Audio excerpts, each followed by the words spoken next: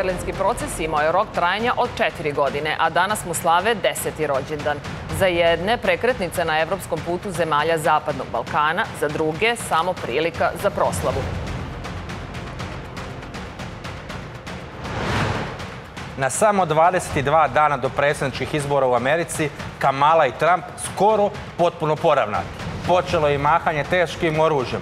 Taylor Swift protiv Ilona Maska, a umalo da imamo i treći atentat.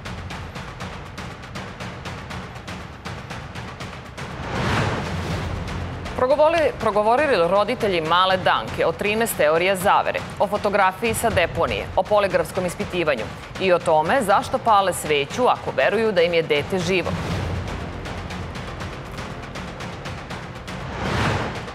Kikinđanin pištoljem prebio suprugu i u njenom pravcu ispalio četiri metka. Osuđen za porodično nasilje, ali na sramno malu kaznu. Samo godinu i četiri meseca zatvora. Gde je pravda za žrtvu?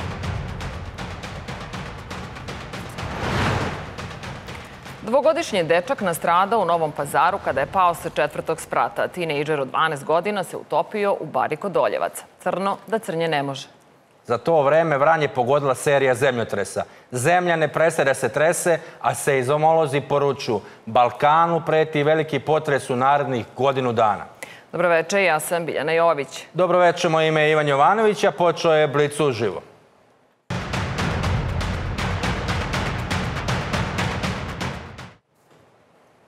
Zamišljen kao brža trasa Zapadnog Banka, Balkana ka Evropskoj uniji sa rokom trajanja od četiri godine, berlinski proces obeležava deseti rođendan. Tim povodom je danas u predstavnici Nemačke okupio lidere Zapadnog Balkana i predstavio plan saradnje i približavanja Evropskoj uniji. Samitu ispred Srbije prisustvuje i srpski premijer Miloš Vučević. Berlinski proces pokrenut je 2014. godine, dakle pre 10 godina, na inicijativu tadašnje kancelarke Angele Merkel kao platforma za jaču saradnju između šest zemalja Zapadnog Balkana i Evropske unije. Od 2014. godine samiti su održavani u različitim evropskim gradovima. Beč, London, Paris, Trs, Poznanj, Sofija, Berlin i poslednji u Tiraniji. Zemlje domaćini su svake godine dodavale nove prioritete, ali se čini da su konkretni rezultati izostali. Deseti sastanak ponovo se održava u Berlinu, kao jubilej, a prisustvuju mu i nemački kancelar Olaf Scholz i predsjednica Evropske komisije Ursula von der Leyen. Da li će desetogodišnjica berlinskog procesa biti samo ceremonijalna proslava ili prekretnica ka evropskom putu zemalja Zapadnog Balkana? Da li su za ovih deset godina procesa izostali konkretni rezultati? Da li berlinski proces ipak ima perspektivu? Da li EU stvarno želi Zapadni Balkan pod svojim okriljem? O tome večeras razgovaramo sa političkim konsultantom Vladimirom Dobrosavljevićem. Gospodine Dobrosavljeviću, da li je ova desetogodišnjica berlinskog procesa proslava, jedna vrsta cemorijalnog, protokolarnog okupljanja ili prekretnica ka evropskom putu zemalja Zapadnog Balkana? Kako neveliki broj ljudi misli? Pre svega dobroveče vama i vašim gledalcima. E, jeste jubilej, jeste 10 godina, međutim, treba biti, kako bih rekao, um, treba biti umereni pesimista. Pesimista? Da. Dakle, da su zemlje Evropske unije zaista iskreno želele uh, zemlje, kako oni kažu, Zapadnog Balkana, što je iskreno rečeno i geografski nepravilno naziv, jer Zapadni Balkan je, uzgled budi rečeno, jugozapadni deo Bosne, uh, isto jugozapad, jugozapadni, od jugozapadni deo Hrvatske i jedan deo, mali deo Slovenije. Ovo, ovo o čemu oni govore zapravo centralni Balkan geografski pravilno rečeno, odavno bi se potrudilo da tako nešto urede. Dakle, ako ćemo po tako, takozvanim kopenhaškim uh, pravilima, odnosno standardima, nijedna zemlja uh, sa ovih prostora ne može, nema, ne ispunjava uslove da bi postala članica Evropske unije. Međutim, to je važilo isto i 2007. godine za Bugarsku i Rumuniju. I Rumuniju. Svi se pozivamo, Takođe, ljubomorni smo, uvek ih pozivamo kad su mogli, oni kako nismo mi. Pa, zato što je, nažalost, vremenom pristup Evropskoj uniji zapravo postao geopolitička stvar, stvar geopolitičke realnosti, a ne toliko dostignutih standarda ili sistema, usvojenih sistema vrednosti. To je ključan, to je ključan problem u svemu ome. 2014. godine je, dakle, to se dešava pre nego što je se dogodio Brexit. Zapadna Evropa je, odnosno Evropska unija je želela da pošalje poruku zemljama jugoistočne Evrope da nije došlo do stagnacije procesa integracije. Međutim, E, ali treba da napomenemo samo našim gledalcima, to vi verovatno dobro znate. Ne, nedavno pre toga je gospodin Juncker, jel tako, Tako je. rekao kaput što se tiče proširivanja za jedno određeno vreme. Pa je vjerovatno gospođa Merkel htjela da da malo nadu ovome, kako vi Pa kažete, nepravilnoj terminologiji jugozapadnom Balkanu. jest, to je više bilo otprilike da se zadrži za- zapravo jedna vrsta Umerenog optimizma u ovom slučaju i geopolitičkog utice. Dakle, to je već, opet kažem, period 2016. imamo Brexit, 2017. su drugi minski, spora, drugi minski sporazum, dolazi već od 2014. do određenog zatezanja odnosa između Evropske unije i Ruske federacije, koja kulminira početkom sukoba 2022. godine i zapravo Evropska unija je na ovaj način želela da zemlje jugoistočne Evrope zadrži na neki način u svom gravitacijnom polju. Da one ne postanu, da tako kažem, ogledno dobro u kom bi, kako oni kažu, takođe Rusija mogla da ima svoj toksični uticaj. A zbog čega je onda ovaj proces odužen sa te zamišljene četiri na već sada deset godina? Zato što sama Evropska unija ima problema sa definisanjem sobstvene budućnosti. Dakle, vi ste promenuli, pomenuli gospodina Junkera.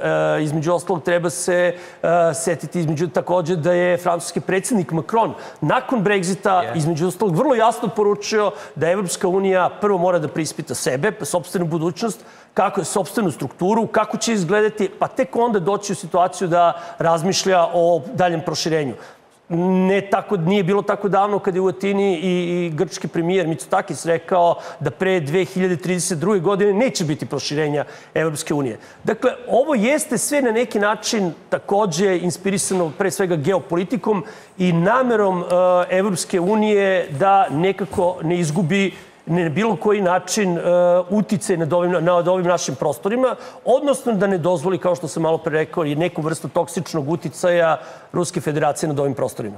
A onda, gospodine Dobroslaviću, da li je berlinski proces svojevrsna zamena za pregovaračka poglavlja ili jedan deo njihovog ubrzanja? Pa nešto između. Nešto između.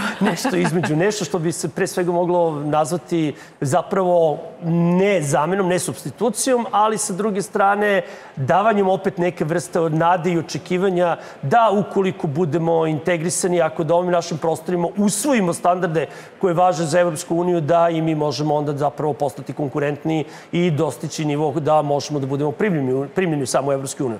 Nažalost, činjenica, kao što smo rekli, dakle, od ko- kopenhaških propisa, odnosno standarda, mi smo, sve zemlje na ovim prostorima su izuzetno daleko. Na kraju krajeva, hajde da pogledamo za ovih deset godina šta mi zapravo imamo od, eh, kao rezultat berlinskog po- procesa, pa pre svega roaming. Dakle, isko, ono, nema više roaminga između zemalja jugoistočne Evrope. A vidite između- kako tako jedna mala stvar u cijeloj toj priči, a opet mnogo znači ljudima. Zamislite da smo napravili dva još takva neka koraka koliko bi polje sve bilo. Jeste, postoji, to i, to- postoji taj e, sporazum u inicijativi mladih u kojoj je uključeno skoro 30 30.000 mladih ljudi, ali ono što je zapravo najvažnije trebalo da bude liberalizacija tržišta, Tržišta. rada i celokupnog tržišta, odnosno i njihovo integrisanje, ali pre svega tržišta radne snage, zapravo do toga nije došlo. E, nemojte zaboraviti, e, ključan problem svih zemalja jugoistočne Evrope nije u istoriji nego u izuzetno negativnim demografskim i migracionim e, trendovima. E sad mi recite, ja sam sklon toj teoriji, mada nisam neki veliki stručnjak za te stvari, ali mogu da pogledam što se kaže. Da li je sa odlaskom Angele Merkel u političku penziju ovaj proces izgubio na značaju?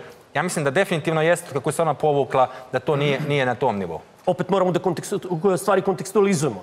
Dakle, Evropa se umeđu vremenu suočila sa nekoliko stvari.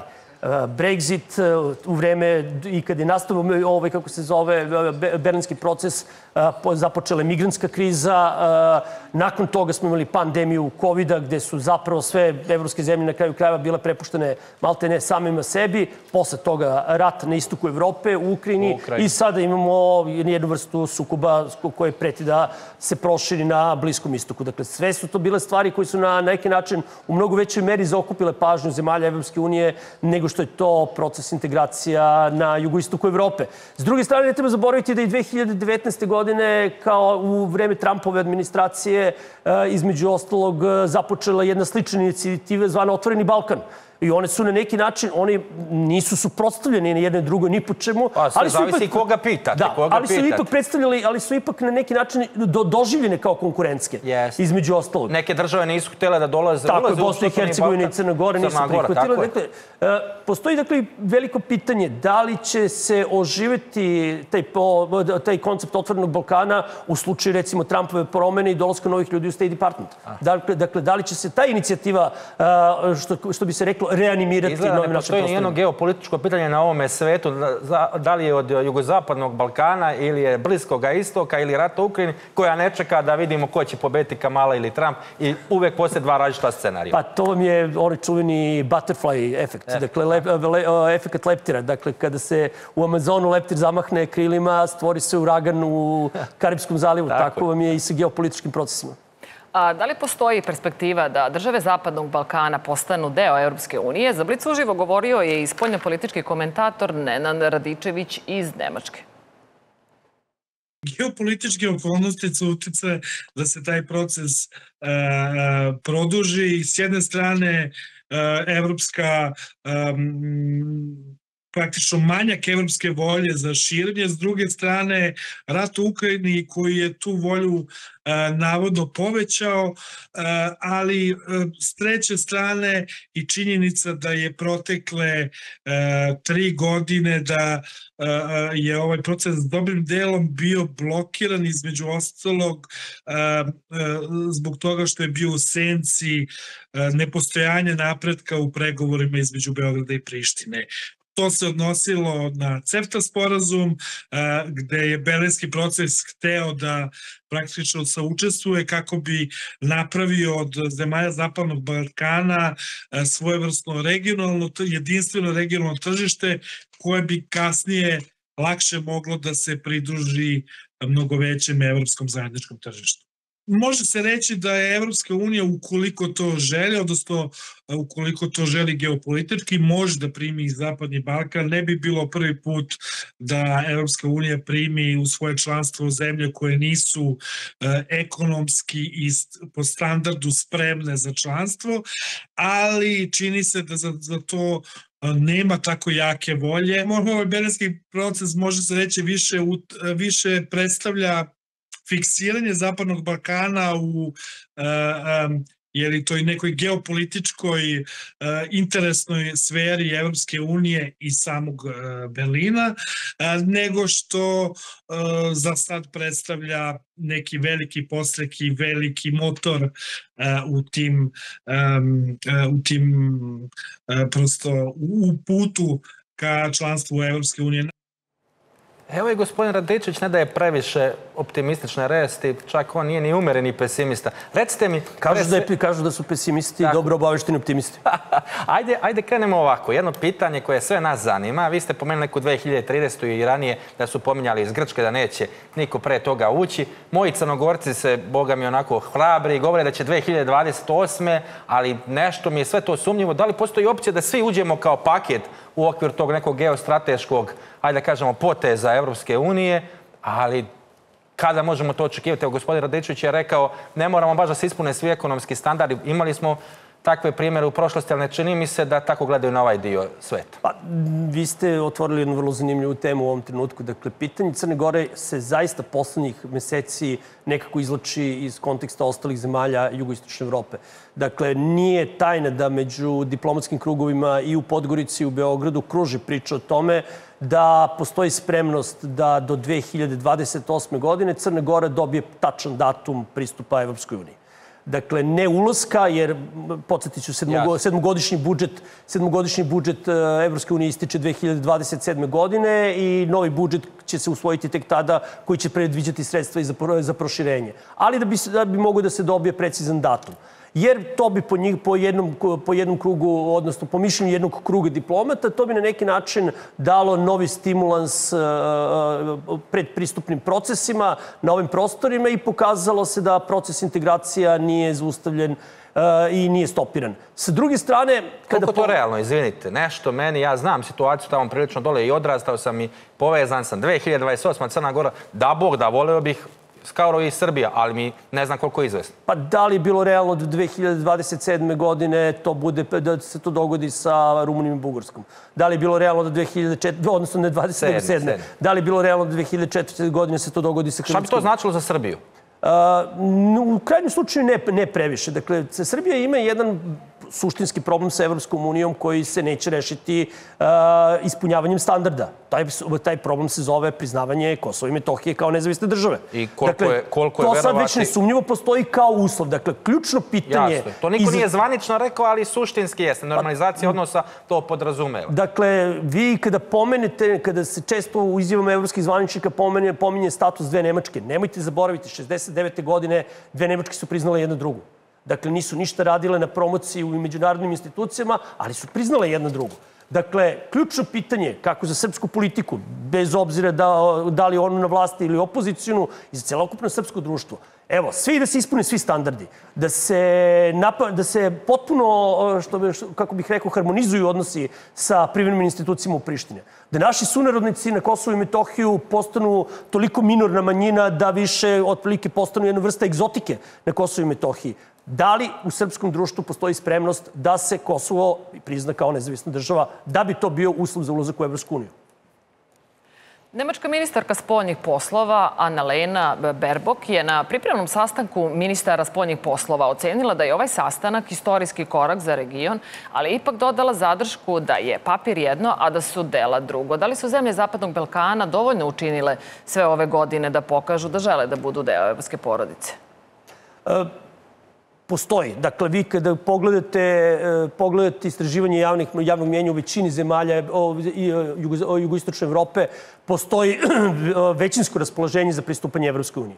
E, Ono je možda čak i najmanje, ovaj, kako se zove u samoj Srbiji, iz prostog razloga što su, postoje ta negativna iskustva ili pro, o, prosto e, naslaga od, istorijat odnosa zbog e, pitanja Kosova i Metohije.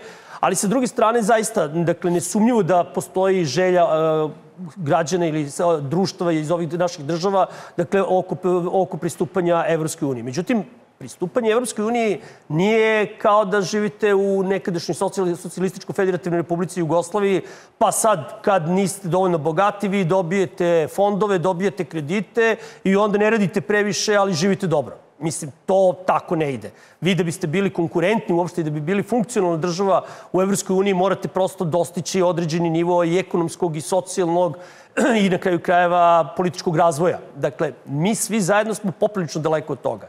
Ideja uh, berlinskog procesa, otvorenog Balkana jesu dobre. Dakle, kolektivnog podizanja kapaciteta ovdašnjih država i ovdašnjih društava zarad pristupanja uh, Evropskoj uniji. Ali sa druge strane, kažem, niti postoje prevelika ohrabrenja sa, sa niti podrška, niti podsticaj od strane zemalja Evropske unije i to pre svega zato što oni sami nisu raščistili sa sobom je šta hoće sa ovim eurofanatike naše u Srbiji otralo malo u, u drugu ideju. u jednu Tako vrstu je. skepticizma, da. Da. Dakle, uh, dakle nemamo, nemamo zapravo jasnu uh, viziju Evropske unije šta ko želi sa ovim prostorom, a sa druge strane treba biti svestan i treba, kako bih rekao, otvoreno priznati ograničenja svih naših društava koji za sada su daleko od kapaciteta koji Za evropski sada je standardi glavno da zahtevaju. samo Rusi ne stave šapu na ovaj teritorij. Da, ovo je pre svega geopolitičke, pre sve Zato, ove... zato nas zadržavaju ovim berlinskim procesom i drža nas pod svojom, ajde da kažemo, senkom. Gospodine Dobrosaviću, veliko vam hvala što ste večeras Hvala. govorili Hvala vam za na Blic pozivu. uživo. Biljo, meni iz reže javljaju da imamo udarnu vest, prekidamo redovan program, a slede detalji.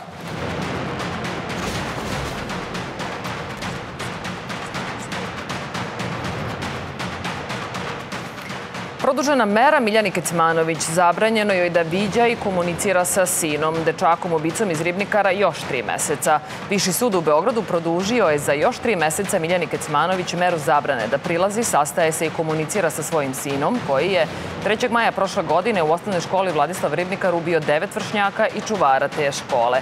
Mera zabrane prilaska, komuniciranja i sastajanja sa svedokom, odnosno sa dečakom ubicom, je određena u oktobru prošle godine. I od tad sud je kontrolišena svaka tri meseca, rekla je za Tanju pod parol tog suda Milica Veličković. Ivane? Biljo, to je neko kao, možemo da kažemo, i suđenje decenije, zaista javno zainteresovan za celu situaciju. U četvrtak već za dva, tri dana dečak će se opet u oči sresti sa svojim roditeljima na suđenju, tačnije svjedočit će protiv svojih roditelja, tako da ova mera suda čini mi se da je negdje bila i očekivana, bez obzira što je, ajde kažemo, izrečena u oktobru prošle godine. Vraćamo se redovno programu.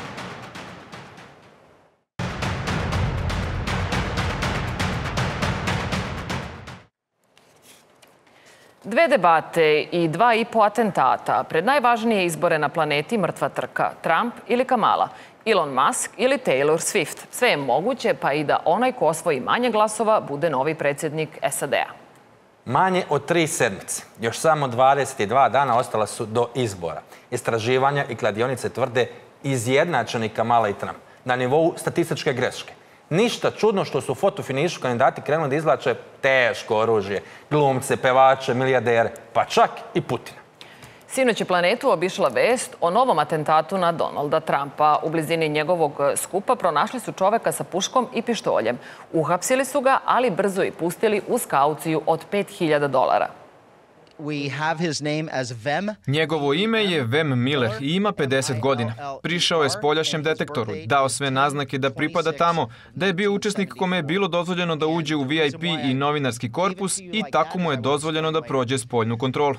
Kako je došao do unutrašnjeg detektora, gde su službenici vršili očigledno detaljniju procenu vozila koje su ulazila, bilo je mnogo nepravilnosti koje su se pojavile. Primećeno je da je unutrašnjost vozila u priličnom rasulu. Vozilo je imalo očigledno lažnu registarsku tablicu, što je podstaklo dalju istragu našeg zamenika zašto je osoba bila tu i šta je tu radila. Tokom te istrage pronađeno je više pasoša sa više imena i više vozačkih dozvola sa različitim imenima. Vozilo je bilo neregistrovano i registarska tablica je ono što bismo mi u policiji prepoznali kao onu koja je domaće izrade i ukazuje na grupu pojedinaca koji su tvrdili da su suvereni građani. Dakle, tokom istrage su očigledno pronađeni ti identifikacioni dokumenti pored napunjenog pištolja i sačmarice. Ako mene sada pitate, verovatno sam imao ljude koji su sprečili treći pokušaj ubistva. Ta grupa, ako se u stvari ispostavi da je on deo grupe suverenih građana, oni se sigurno smatraju ekstremno desničarskom grupom. Ne bih rekao da je to militantna grupa, to je samo grupa koja ne veruje u vladu ili vladinu kontrolu. Oni ne veruju da se zakoni primenjuju na njih. Biljo, i taj gledalac, evo pomalo izvuče tragikomično, gde god se pojavi Trump za govornicom, pojavi se neki čovjek sa nekim iznenadnim oružjem pored sebe. Da li je pripreman i treći atentat na Trumpa? Ili je sve ovo predizborna reža, kako ja već ubacujem rovca, mogu li javne ličnosti da odluče izbore, zašto je Hollywood bankomat za demokrate, o tome večeras razgovaramo sa političkim analitičarem Emilom Zoronjićem.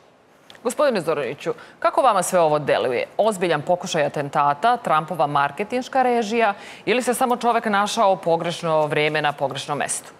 Pa možda je to poslednje najmanje verovatno, odnosno da sad baš on dolazi tu, a eto možemo odmah i da to isključimo s obzirom da je imao lažnu propusnicu za taj skup baš na, na, koji je, na koji je došao Trump da priča. Tako da s te strane sigurno se on tu uputio. Sad, tu su dve teoreme, dve, dve teze mogu da se postave. Jedna da je došao tu da ubije Trumpa i druga da je došao da bi bio uhapšen, odnosno da bi Trumpu podigao rejting i da zapravo... Šta je, šta je vama bliže? Više verovatno, da. da. A, pa, kad pogledamo istoriju ovog čoveka, odnosno to smo sad svi videli ovih dana, da je bio i član tih nekih ekstremističkih organizacija i da je negde bio protiv vlade, da je, ono što mi kažemo ovde, teoretičar zavere, onda je vrlo moguće da je on i angažovan za ovako nešto da bi upravo digao rating Trumpu, ali, kažem, ne bih isključio uopšte mogućnost pokušaj atentata zato što jednostavno imali smo jedan ozbiljan pokušaj. Onaj prvi je bio yes. stvarno, to ne može niko, čini mi se normalno da posumnja da nije bio pokušaj. Tako je, to, to je sigurno, tu nema greške da, da je, sad tu se pričalo svašta, pa sada je Trump sam sebi to namestio, mislim, to je stvarno, ne, nema uporišta, čini mi se u istina. Da, ali ova sledeća dva onako, e, Pogotovo ako znamo da je posle svakog atentata ili pokušaja atentata Trumpu skakao ovaj kako bih rekli, taj rating i u kladionicama se bolje kotirao. Da li su onda mogući ovaki izrežirani napad? Juče je lokalni šef policije, republikanac, odmah povikao atentat.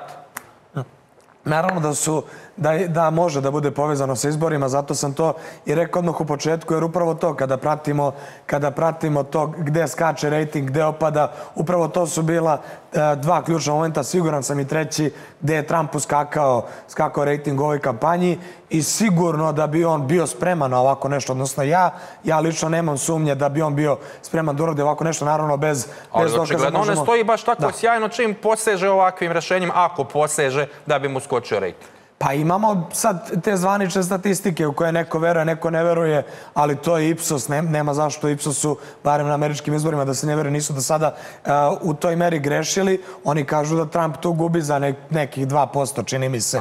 Tako da s te strane, kada, tako, uh, bl- kada su tako blizu kandidati, mislim da će se u ovim posljednjim danima truditi na svaki mogući način da dođu do glasova, na svaki način da pridobiju neke svoje birače i upravo zato ovo može da ide u prilog toj tezi da je možda ipak Trump i njegove pristalice da su iza ovoga. Milijarder Elon Musk skače po bini na Trumpovim mitinzima, dok se Barack Obama ne odvaja od Kamale Harris.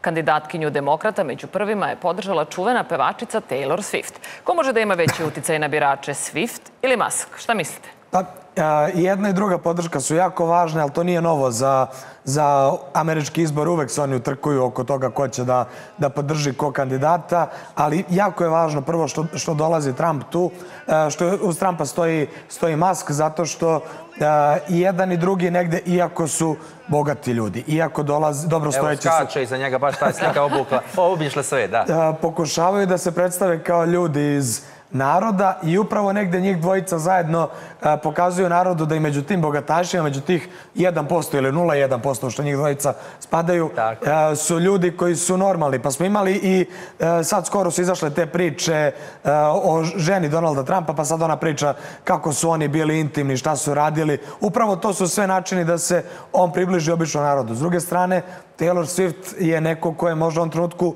i planetarno najpopularnija osoba, možda Tako ne je, među da. nama, ali Mnogi među... govore da ona projekat cije, takođe dalje idu daleko, da, koliko je ona popularna i koliko je značajna i važna. Kad god se pojavi na bilo kojoj utakmici, takmičenju, ono, bukvalno klinci, gori cela, cela, cela tribina. Tako je, to se često zaboravlja. Da danas ljudi koji su dosta mlađi od nas koji ovde sedimo imaju pravo glasa i upravo ti ljudi i, i dolaze tamo i glasaju i jako im je važno koga je podržala Taylor Swift. Iako to nama može da zvuči kao nešto banalno, to jeste, jeste važno. Upravo Ipak ste- je važno, Da, da. To, to su dve osobe koje, koje bih i ja izdvojio i dobro ste ih i vi ovde izdvojili, koje mogu ipak da utiču na, na krajnji rezultat ovih i- e, izvora, e, izbora i apsolutno pored njih to su desetine drugih i Evo, sa, stotine. sad ću da, da iščitam našim gledalcima i da vas podsjetim. Znači, Kamalu su podržali i Oprah Winfrey, Meryl Streep, Julia Roberts, sve dive, George Clooney, pa NBA zvezda Steph Curry, onaj čuveni trojkaš koji je nas ukopao na olimpijadi, pa vlasnik Davalasa, kontraverzni bogataš Mark Cuban, na drugoj strani uz Trumpa, manja je linija, tu su pored Maska poznati rvač, ali koga znači, već možete da napravite razliku između jednih i drugih, i čuveni milijarder Steve Vine. Gospodine Zoranić, zašto je Hollywood po pravilu uvek uz demokrate? A- Nekako je to i mainstream, rekao bih. Malo kad bi se neko otišao, čini mi se da bi bio izopšen iz toga Hollywooda. Pa jeste, pa, ali ne samo za, za to je u- na izborima uz, uz demokrate, ali mi vidimo da je to jedna ista priča koja negde, kogod krene drugačije da priča, nekako ga izopšte. Pa ne znam, uh, Cancel, cancel kultura. Jeste, cancelovanje, cancelovanje ljudi, pa je naj, najbolji primer tu je uh, Tom Hanks, uh, gde je nekako u sklonjenu stranu baš zbog svojih stavova, tako da to jeste tačno, ali s druge strane mi vidimo da Trump se ne fokusira toliko na Kaliforniju i na, i na ove države, zato što jednostavno njemu je jasno, da Jasno. tu nema šta da traži, da ne troši svoje resurse.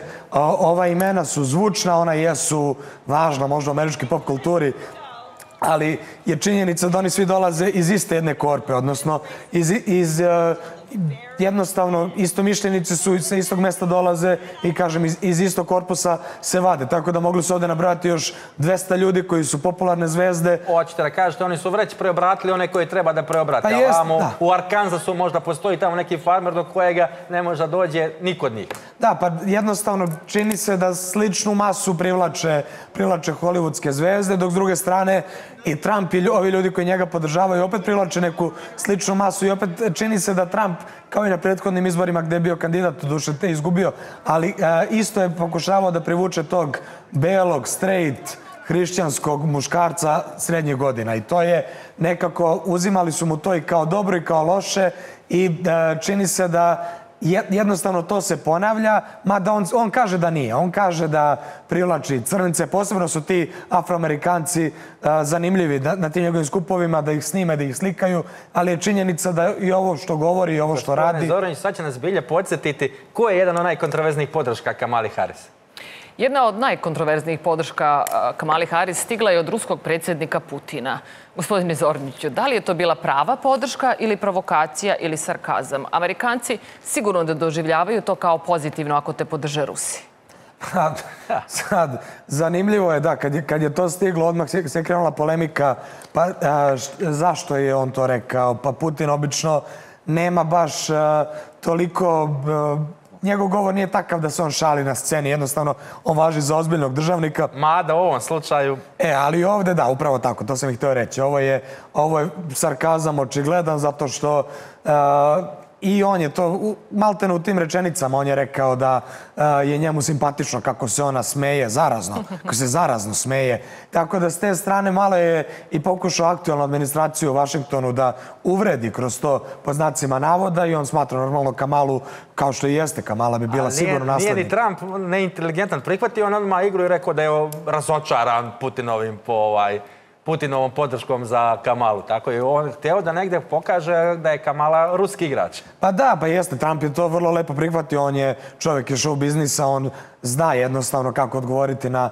na ovakve stvari i negde tu jeste on prikupio političke poene i sad teoretičari naši... A, da, ne, da ne zaboravimo, ne treba reći da dosta ljudi ne zna da je to sarkazam bio u američkoj kulturi, to sam siguran, tako da je to da. mogla se proda da je Putin podržao Kamalu. I upravo to, i kažem, razne su se teorije tu, tu pojavile odmah, koje su svakako donele Trumpu političke poene, ali s druge strane uh, upravo to ljudi nisu razumeli da je to sarkazam. Nema Putin šta koga da podržava na američkim izborima. Sad možemo mi da polemišemo. Koga šta bi, više voleo. Jeste, koga bi više volao, šta bi mu bilo draže, ali on kao predsjednik jedne velike sile koja nije baš bar u ovoj godini, u ovim trenucima, u najboljim odnosima sa Amerikom, nema šta on tu da priča. Ali jasno nam je da bi on bolje sarađivo sa Trumpom i bolje sarađivo sa Trumpom. A jeste, zato što nekako... Nešto ne mogu da ga zamislim da se Kamala džuska pored njega onako i da se smeši, da nešto mogu da govore. Lekše me nekako sa Trumpom, onako ekscentričnim bogatašom iz show biznisa, da nešto mogu da se dogovore. Na ličnom planu sigurno njih dvojica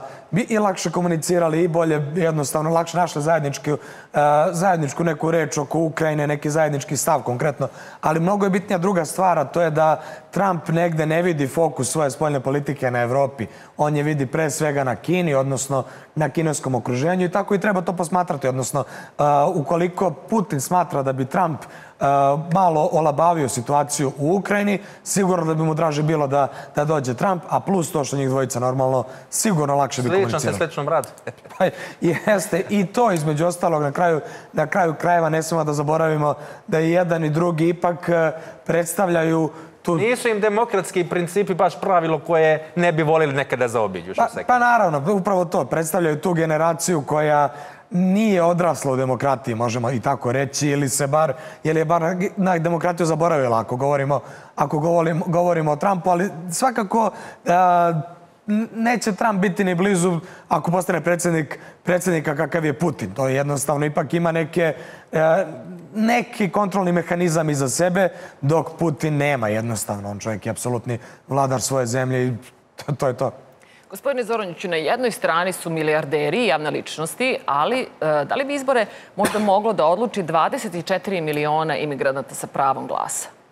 Pa, da, i to je sad e, pitanje koje je, je dosta ozbiljno shvaćeno u američkoj javnosti, zato što po, po automatizmu se razmišlja da bi ovi ljudi odmah glasali za, za Kamalu. Međutim, nekako to se pokazalo, bar po ovim anketama, da nije presudno bilo, odnosno da nije donelo neku veliku razliku u njoj, barem u tim socijalnim uh, društvenim slojevima, da jednostavno i ti ljudi imaju različita politička viđenja, da to što su oni lakše ušli u Ameriku sad zato što je tu Kamala Harris, a ne Donald Trump. Oni to gledaju lično da su oni tu i da jednostavno sada možda e, neko kaže pa sad će neko drugi da dođe i da mene ugrozi sa mojom, mojim radnim mestom i sa mojom pozicijom. Gledao sam neki snimak, dosta onako zanimljiv, neki e, imigrant, ilegalni, ali Turčin i prelazi tu granicu i sad ga snimaju i sad on kaže e, šta se sad tu dešava kao vi jeste li vi za Kamalu? Ne, ne, kaže ja sam za Trumpa, ne treba nikog više da pustite. Tako da i, i to su i, i, tako da i tako oni mogu razmišljati. Ne treba po automatizmu reći aha 20 miliona ljudi ilegalno prešlo granicu, oni će sigurno glasati za Kamalu jer to verovatno nije slučaj, odnosno i jedan i drugi kandidat mogu da se ovaj da uslovno rečeno iz ovog korpusa birača. Amerikanci poslednjih dana spominju termin oktobarsko iznenađenje. Neki događaji poput katastrofa, ratova na, na Bliskom istoku ili Ukrajini, političkih skandala. Da li izbore može u stvari da odluči i neki slučajni detalj u poslednjih 20 dana? Pa mene uopšte to ne bi iznenadilo, odnosno kada je ovako ujednačena politička borba, odnosno kada je ovako ujednačen e, broj glasova i podrška koji ima jedan i drugi kandidat, upravo su ovako neke stvari koje bi na kraju mogle da odluče zato što i kada smo pominjali ove atentate i ti atentati su donali Trumpu privremeno e, da mu, se, da mu se podigne rejting. Odnosno, nakon toga je on e, postepeno opadao. Posle onoga prvog izgledalo da ništa ne može da ga zaustavi. Međutim, povukao se Joe Biden kao da je se gumicom obrisalo da je nekog zamalo njemu prosvirao glavu i Tako je, i, i došla je Kamala kao kandidat. Prosto neverovatno. E, I upravo, upravo to hoću da kažem, da u ovom trenutku, ukoliko bi se desilo nešto od tih, po znacima navoda, privremenih stvari koje bi mogle da privremeno podignu rating, to bi bilo sasvim dovoljno u, izborom, u izbornom danu da jednog ili drugog do, uh, kandidata jednog, uh, pogura. Da, da dovoljno pogura. Tako da s te strane, uh, apsolutno je taj scenario realan i mislim da jedan drugi kandidat, to jest kandidat, kandidatkinja, imaju upravo nekog takvog keca u rukavu ili bar uh, razmišljaju o nečemu sličnom ukoliko ne budu jednostavno imali dovoljnu prednost. Analitičari se slažu da bi da se prosto zbrajaju svi glasovi Amerikanaca pobedila Kamala Harris. Ali u elektronskom sistemu pobednik može da bude i onaj ko dobije ukupno manje glasova. Gospodine Zoraniću, konkretno za kraj. Ko pobeđuje? A, pa, sad je to dobro pitanje, posebno ko voli da idu u kladionicu, da, da ode nešto da uplati. E, svakako jeste da i, e, se dešavalo u istoriji A da neko... čekajte, vrlo, vrlo skori su to izbori bili, ne ovi posljednji, nego oni pre. Upravo Trump to. je izgubi, dobio uh, gospođu Clinton, ali je milionska razlika bila u pitanju glasova. Je Jeste, tako? tako je. On je, on je imao on je imao mnogo manje glasova, mnogo Milioni manje, su u pitanju. Jeste, mnogo manje glasova od nje, pa je, pa je pobedio. Zato što je sistem takav u Americi kakav je već su... Ove swing state čuvene, je li tako? Da, i swing države koje su dosta... U stvari, one su najvažnije. Najvažnije su swing države, odnosno ove neodlučne, kolebljive države, kako se zapravo, zapravo kaže. E, one su najvažnije jer jednostavno već i jedna i druga strana pišu sebi po 150 plus glasova iz ovih država gde skoro sigurno će osvojiti. Međutim, ovo sve ostalo je nešto gde će, uh, gde će raditi do poslednjeg dana kampanju, gde će najviše novca sada uložiti. Sada, ako je pitanje konkretno ko će pobediti, uh, ja se ne bih usudio da to komentarišem, ne zato što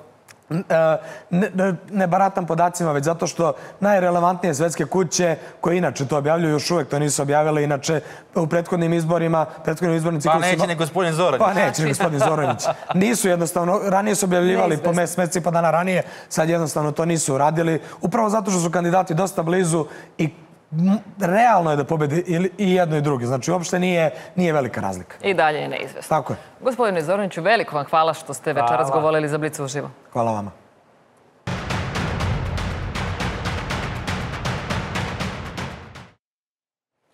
Skoro sedam meseci prošlo je od nestanka dvogodišnje Danke Ilić kod Bora. Optužnica je podignuta, osumnjičeni su u zatvoru. Zvanična verzija kaže ubijena. I skoro sedam meseci kasnije prvi put su oglasili roditelji male Danke, Ivana i Miloš Ilić. I na opšte iznenađenje u dvojipočasovnom prenosu uživo na TikToku. Otkrili su neke nepoznate stvari. Odgovorili su na 13 teorije zavere o Dankinom nestanku. Rekli su mnogo toga što im je stajalo na duši. Pa i zašto pale sveću za Danku ako se i dalje nadaju da je živa. Kada je Danka nestala, neki iz policije su nam izjavili saučešće. Neki su nam rekli da neće jer nemaju to što treba da imaju. Ja sam se pomirio i sa jednom i sa drugom stranom priče. Priča da je Danka oteta i prodana mi ne pije vodu. To se desilo 26. marta, a policija je osumnjičene dva dana kasnije dovela na razgovor. Auto je veštače nakon 7, 8, 10 dana. Ljudi, za tih 10 dana je moglo da se skine bilo šta. Imam crno na belo. Imam sliku sa kuće čoveka gde se tačno vidi njihov automobil i on je na deponiji. Ima tu ljudi, svedoka koji su dali izjave, da su ih videli na deponiji. Da su ljudi prošli, koji su džogirali, videli su ih tu. Kada se pojavio snimak iz Beča, prvi smo ga videli Ivana i ja. Ne mogu da lažem, i ja i moja supruga smo 99% bili sigurni da je to ona. Sada ne postoji sumnja da to dete definitivno nije Danka. Ljudi pitaju kako možete da palite sveću detetu ako je ono navodno živo. To su njihove gluposti. Ja sam razgovarao sa popom i on mi je rekao, sine, ne pališ sveću za mrtve, već pališ sveću da dete nađe put. O svim misterijama i teorijama zavere, navodno novootkrivenim fotografijama sa deponije smrti, ali zašto do sada nisu pronađeni ni telo devojčice, ni svedoci, ni DNK dokazi, večeras pričamo sa Dejanom Radenkovićem, bivšim načelnikom uprave kriminalističke policije i Radišom Roskićem, bivšim visokim funkcionerom BIA. Gospodine Radenkoviću, da li je vas iznenadilo ovo oglašavanje roditelja male Danke, načina koji su to učinili uživo na TikToku? Iskreno jeste, znači ne mogu da, da krijem to neko ubeđenje, da, ali to je zaista njihova odluka i oni su odlučili e, da se obrati isto kao što su odlučili i u prethodnom periodu da 6-7 meseci se e, praktično ne obraćaju nikome i ne daju nikakve e, izjave. Ono što mene onako na neki način čudi jeste da oni nisu odlučili da imaju svog, ajde da kažem, pravnog zastupnika koji će ih voditi kroz ovakav slučaj s obzirom da se radi o najtežem krivičnom delu, znači gde su oni oštećeni, odnosno gde se dvojica njih os, su osumnjičeni, još uvek osumnjičeni, tako ili okrivljeni, e, za najteže krivično e, delo, a to je teško ubistvo, e, da nemaju nekoga ko će ih, ajde da kažem, voditi kroz ceo ovaj slučaj. Ovo je njihov jednostavno čin koji su, za koji su se oni sami odlučili i e, malo je, e, što kaže, neodgovorno s moje strane bi bilo da ili kažem da je to dobar ili da osuđujem taj njihov čin, tako da eto to smatram da je to njihov subjektivni čin i sve ono što su oni govorili e, tog dana jeste neko njihovo subjektivno viđenje, odnosno... Ali mislite da ih je neko savjetovo da to urade? Pa prepostavljam da oni imaju, da su oni po svemu onome što su izjavili tada i ono sve što su govorili za tih dva i po sata, da su oni želeli na neki način da više je sve to ličilo na neko pravdanje e, svega onog što im se stavljalo unazad u nekom periodu kao na teret. Sve ono što ih je možda neka javnost ili neki pojedinci osuđivali čak i stavljali po znakom pitanje celu e, optužnicu koja još uvek nije stupila na pravnu snagu, a koju će, koja će verovatno vrlo brzo ugledati i takvu svetlost dana. Znači da su oni želi, želeli na neki način, takav je moj utisak, da, e, da kažu svoju stranu, svoju stranu, svoju stranu priče. Gospodine Roskiću, zašto mislite da su baš sada rešili da izađu u javnost? Da li zbog podizanja optužnice ili možda priča da ne postoje čvrsti dokazi protiv osumnjičenih? E, znate, ovaj kompletan, e, reći ćemo, slučaj zaslužuje e, analizu iz nekoliko uglova posmatranja. Znate, ajte ovako, ajte najpre sa aspekta neke javnosti koja sa opravdano velikim, dakle, velikom pažnjom. Prati ceo slučaj, tako je. E, budimo realni. E, dakle, najpre mi koji komentarišemo ovaj događaj imamo veliku odgovornost. Da li je optužnica podignuta u pogledu oca, jednog od još uvek osumnjičenih, jel te? Da li je, e, da li je ta optužnica usmerena na njegovog sina ili usmerena na drugog okrivljenog, mi to ne znamo. Čak i da je usmerena na sina, budimo realni, e, jedinu, jedini koji je ovlašćen da donese krivičnu sankciju, dakle u smislu kriv je ili kriv je, a oslobađa se krivične odgovornosti, odnosno kazne po slovu zakona, je sud. Dakle, tužilaštvo u Zaječaru, više javno tužilaštvo je jedino ovlašćeno da pokrene takav postupak. Ne znamo da li je jedino uh, okrivljeni za krivično delo u odnosu na oca koje se tiče uh, prikrivanja krivičnog dela ili pružanja pomoći učiniocu nakon krivičnog, izvršenog krivičnog dela, dakle, je li to jedan ili drugi osumnjičeni? To je jedna stvar. Druga stvar, nakon mnogo uh, neverovatnih uh, dakle, pretpostavki, tvrdnji i tako dalje, mi smo se našli u situaciji da budemo u dilemi. Hoćemo li verovati srpskim pravosudnim organima ili to nećemo učiniti? Budimo realni. Nakon više stotina policijskih službenika koji su pretraživali teren u pogledu potrage za nestalim detetom, došli smo u situaciju da E, možemo ili nećemo verovati višem javnom tužilaštvu u Zaječaru, da li je moguće da bilo ko u srpskoj javnosti veruje ili ne veruje da je viši javni tužilac u Zaječaru do te mere najvan, da je do te mere pod političkim uticajem, da je do te mere u funkciji dnevno političkih događanja, da će podići ili neće optužnicu prema izvršiocima za najteže krivično Ali samo kratko, o tome ćemo samo pričati. Samo ovo koment, o, obraćanje roditelja, kako to vama izgleda? Znate kako, roditelji imaju pravo da na nekakvom TikToku u koji ja a priori nemam poverenje. Znate, na, na javnim i društvenim mrežama svako može da objavi što god hoće. Dakle, nisam siguran da ovako oštećeni roditelji mogu na TikToku, ako je to verno preneto, jel te? Pa bilo uživo. Tu nije moglo da se... Kamera, e, uživo se obraćaju. Bilo uživo. Molim vas, Dakle, rekli su šta su imali. Iz onoga, iz sadržine njihovog kazivanja ja ne vidim ništa što bi doprinelo svim tim dilemama. Jesu li roditelji učestvovali u krivičnom delu? Da li je dete prodato? Da li su roditelji Ali uzeli hajde, hajde da vam pročitam pitanje gospodinu Radenkoviću, pa i do vas pitam. Mm -hmm. Ipak ima nešto novo. Gospodin Radenković, to se pominjalo, ali sada se stavilo u prvi plan. Kako komentarišete tvrdnju Dankinog oca da ima fotografiju osumnjičenih i belog Fijata Pande na deponi, gde je navodno bačeno telo i na to snimljeno dan nakon Dankinog nestanka koji je 7 ujutru. To se negde provejava provejavalo, ali nigdje nije tako jasno izrečeno kao do sad. Da, Evo, gospodine Radenkoviću za vas, pa onda gospodine Rosiću možete da dovežete vrlo. Da, ali ovo apsolutno nije ništa novo. Znači, e, mi smo imali i pre e, svega ovog što se sada objavljuje u medijima e, saznanje, znači da je veštačeno vozilo, odnosno da je izvršeno veštačenje GPS vozila gde se utvrdilo tačno kretanje e, tog vozila. Zatim veštačenje njihovih telefona gde se takođe može utvrditi apsolutno i nesumnjivo kako su se oni e, kretali e, svo to vreme od momenta kada je postoji indicija da je mala Danka oborena njihovim službenim vozilom.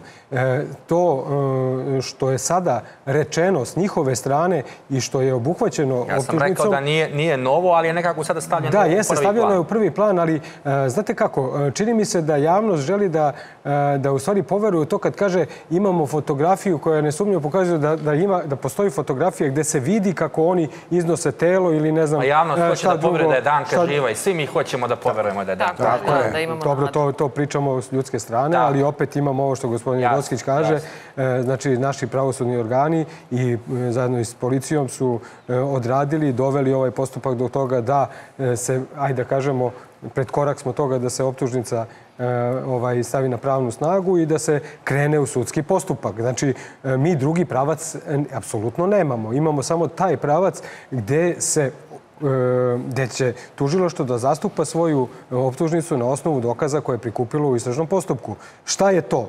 Još možda i nemamo sve, ali činjenica je. Imamo prvobitno priznanje i jednog i drugog, zatim priznanje jednog od osumnjičenih pred tužiocem i advokatom gde u potpunosti e, prizne izvršenje krivičnog dela i opisuje ga na način na koji su ga oni ili on izvršili. Zatim, evo sad je za mene je više novo ovo, ovo drugo, gde imamo saznanje da je e, obuhvaćeno e, ovaj, optužnicom i to da je brat, sada pokojni, nažalost, jednog od osumnjičenih bio prisutan kada je telo donešeno posle dva dana u kuću i da je on to video i zajedno pomogao i da imamo to priznanje pred policijom. Ja to zaista ne znam da li je to tako. Niti mi sad znamo, ali e, optužnica će u jednom momentu postati javna ja. i svi ćemo, svi ćemo e, saznati, eto mi kao javnost, a pre svega je opet, e, opet ono, potvrđujem ono što je i gospodin Roskić rekao, sud je taj koji donosi na kraju krajnju neku odluku o tome, odnosno sud o tome da li su relevantni dokazi za to što se nekome stavlja na teret ili ne i na kraju, ako nema dovoljno dokaza, oni ljudi moraju da budu oslobođeni pre nego što nastavite dogovarati na ovo pitanje, samo jedno pitanje, pod pitanje za vas. Da li je moguće da su osumnjičeni mrtvi ladni, došli su tada na deponiju u trenutku dok su tu bile hiljade policajaca i spasilaca i to službenim autom? Ja vjerujem da oni nisu previše inteligentni u tom kriminogenom smislu, ali ovo je baš, kako bih rekao, onako potez. Znate, inteligencija je potpuno individualna stvar inteligencija uglavnom nema veze ni sa uh, socijalnom inteligencijom, ni sa kriminalnom inteligencijom i tako dalje. E, radi se o tome i ja molim javnost da, da prosto to shvati. Radi se o tome uh, da ljudi koji su u posebnom stresu izazvanom činjenicom da su eventualno izvršili najteže krivično delo, da je inteligencija tek neki treći mehanizam... Izvinite, samo da čitaocima, sada ide vrlo taj interesantan detalj iz njihove ispovesti. Kada je Ivana javila da je ona nestala, ja sam pre policije odstigao u Banjsko pole i već sam počeo da špatam oko kuće u šumu, levo, desno, na ulazu u Breštovačku banju, nasli, sreo sam ih, kasnije dvojicu okrivljenih iz škola, ja i kolega smo stali pored njih, pitao sam da niste možda vidjeli jednu devojčicu, on je opisuje tu, oni su mi izgledali nekako uplošano i samo su mi rekli ono ne, ne, ne, ne, ne i naravno nikakva sumnja na njih. To što su izgledali uplašeno, to je samo jedan emotivni element. I njegov subjektivni jedan emocionalni element u celoj priči. Ali ovo je sastavni deo optužnice. A optužnica se zasniva na činjenici da je GPRS sistem pokazao da su okrivljeni, odnosno sada ako, ovaj, ako to bude bilo tako optuženi, bili na licu mesta u tom trenutku. To je materijalni dokaz. dokaz. Ja vas molim da, da, da prosto da razumemo da materijalni dokaz nije samo DNK trag. Materijalni dokaz su izjave svedoka i svi ostali... Ali pričat ćemo i o tom čuvenom DNK tragu. Biljo? Dakle, roditelji smatraju da su optuženi za taj period od dva dana, dok nisu pozvani na razgovor i nedelju dana, dok nije pregledan njihov auto, mogli da unište sve dokaze. Gospodine Radenkoviću, da li su oni zaista to mogli da urade? Da li bi mogli da urade to čak i neki, recimo, profesionalci? Ja znamo da u ovom slučaju... To je pitanje koje javnosti tako je, a vidite, vidite ovde, se, ovde se ne radi o licima koji imaju neku kriminogenu e, prošlost. Niti e, neko ko može biti sposoban da niti ovo krivično delo izvršeno ukoliko se sve potvrdi kao takvim, da je izvršeno sa umišljajem. Znači, e, u momentu se desilo, nakon toga postoji totalni umišljaj ukoliko je sve onako kako se navodi u optužnici, da su oni e, odlučili da na ovaj način okončaju život e, male danke, odnosno nasilnim smrtem i tako izvrše e, ovo krivično delo. Naravno, vozilo službeno s kojim, koje je predmet izvršenja ovog krivičnog dela je upotrebljivano i nakon ovog čina nekoliko dana posle za, jednostavno za rad svih ostalih službenika da, da, da. koji rade u vodovodu. Samim tim se i uništavaju svi tragovi koji eventualno mogu da se pronađu i budu upotrebljeni kao, kao dokaz. Nazalo, nažalost, to se desilo. E, mislim, moramo budemo realni, da je možda tu u jednom momentu policija i trebala malo brže da reaguje. Jesu oni pozvani posle dva dana, ali imamo i činjenicu da je svega, ne znam koliko je ono prvobitno bilo izrečeno, da li je 17 ili koliko vozila ovaj, e, bilo ušlo na tom prostoru i e, bez osude tih ljudi koji su to radili, jer su oni zaista, znam te ljude i znam koliko su se, e, koliko su se trudili da dođu do istine, da dođu do, do, do onoga što je u stvari i cilj da se pronađe jedna jedina istina, samo jedna postoji, da su možda trebali tu malo brže da reaguju i malo brže da eliminišu neke ljude koji nisu bili u mogućnosti to da izvrše, a da izvrše što pre, ajde da kažem, eliminaciju, odnosno stavljanje pod kontrolom svih tih predmeta gde se može pronađe tragovi. Nije ovo jedini slučaj, nažalost, gde se zbog nekih proceduralnih grešaka nisu mogli pronaći adekvatni tragovi koji bi relevantni bili za tužilaštvo i za sud sutra. Moramo biti opet, kažem, iskreni prema sami sebi i da pogledamo istini u oči i da na, na ovakvim nažalost, slučajima naučimo kako i na koji način u budućem periodu treba da reagujemo kada se dešavaju, kada se dešavaju tako teška zlodela, jer ovo je nešto što najteže. Moguće, moguće da ti materijalni tragovi u vidu DNK mogu da nestanu, mogu, odnosno, koji nisu relevantni za sud. Pazite, znači, postojale su i pre, DNK je počeo da se upotrebljava negde 2000. godine ili 2000 i neke godine. I sad svi pričamo o DNK kao da smo svi stručnjaci za to. Da, da on je jako se, bitan, da. on je jako bitan, razumete, ali i pre 2000. godine, čak i posle 2000. godine, kada je postojalo mehanizam da se izuzmu DNK tragovi, postoje osuđujuće presude za ovakve krivične dela. Znači, je gospodin Roskić rekao, postoje materijalni dokazi koji nisu... Postoje materijalni dokazi, evo samo ja pa ću njemu dati reč, jer on to vrlo dobro zna i kao bivši pripadnik BIE, a zatim i kao advokat koji uspešno to radi, da nikako optužnica ne bi mogla, niti sutra osuđujuća presuda da se donese samo na osnovu onoga što stalno spominjemo, taj, taj izjava, odnosno priznanje jednog od osumnjičenih koje je dato na zakonit način pred tužilaštvom i advokatom ta izjava mora da se potkrepi drugim materijalnim dokazima. Šta je to? Ono što je malo pre spomenuto, a to su GPS veštačenje, veštačenje telefona, ti snimci o kojima ste vi malo pregovorili, izjave svedoka i sve ostalo što može da potkrepi da se stvarno nešto desilo. Da li je zaista to bila putanja koju su se oni kretali svakodnevno? Da li su oni morali da bi prešli od tačke A gde se desio incident do tačke B tom putanjom i da, da stanu pored te deponije. Da li su stvarno stajali svaki put kada im je zazvonio telefon kao što su izjavili u, u svojim izjavama, mi smo stali i zato što nećemo da telefoniramo dok, dok ovaj, vozimo vozilo. Da li su, to se Eto, lako utvrdi, razumete? Ja znači, to su jasno. sve stvari... Ja moram sada, gospodine Roskiću, vas da pitam i znam da ste već pričali o tome, da li je moguće da su oni tim službenim kolima udarili devojčicu, uneli je u službeni auto, tu je zadavili, a da unutra iz polja ne postoji baš nikakav DNK dokaz. Znam da ste rekli da to nije jedina stvar koja bi mogla da bude, ali sve nas zanima kako je to moguće? Telo uh, devojčice stare manje od dve godine ne može biti teže od deseta kilograma telesne mase. Dakle, radi se o tome, ako je ugao udara bio takav, uopšte nije isključeno. Dakle, teorijski jedan prema jedan. Jedan ne ostane nikakav DNK trag. Ako nije bilo krvarenja, dakle, e, imajte u vidu ono što svi koji smo roditelji znamo. Dečije kosti, dečija telesna masa je gibljiva. Ona se ponaša drugačije nego kod nas odraslih ljudi. Uopšte ne mora doći do krvarenja. Da. Do... Ali, ali bar nešto, bar kamen sa kose, bar nešto. Nemoguće da baš nema ništa. Ukoliko dete nije udareno u glaveno područje. Zašto Ali pazite, ona je bila posle u Gepeku, ona je nošena više puta. udavili, kako da vi kažete. Ne kao neki djavol advokatin, mi nikoga ne optužujemo ali ne prosto nas samo zanima kako.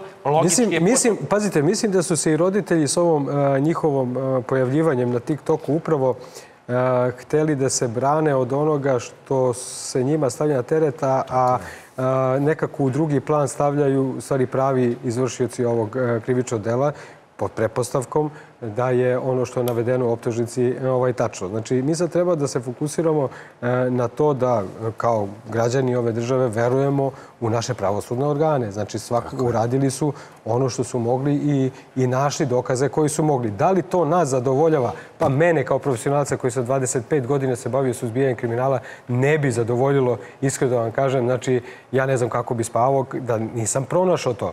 Ali, kažem vam, vozilo koje se koristilo, koje je bilo u upotrebi, mene interesuje ono što je meni nepoznanica, ja nisam u predmetu i moram da se ogradim. Da li je rađeno, ukoliko je bilo prvobitno rečeno da, su on, da je Danka udarena vozilom, da li postoji tragovi brisanja, da se razumemo, tragovi brisanja ostaju na vozilu. E, tako je. Znači, da. da li postoje tragovi, ja, mi to ne znamo, ja ne znam šta stoji u optužnici, ja samo A čekaj, govorim... Pitam, samo, jesmo, li, jesmo li morali mi to da znamo ili ne moramo? Ne moramo to da znamo kao građani u ovom momentu, postoje razlozi zbog čega tužilaštvo ne izlazi sa određenim dokazima sa kojima oni raspolažu.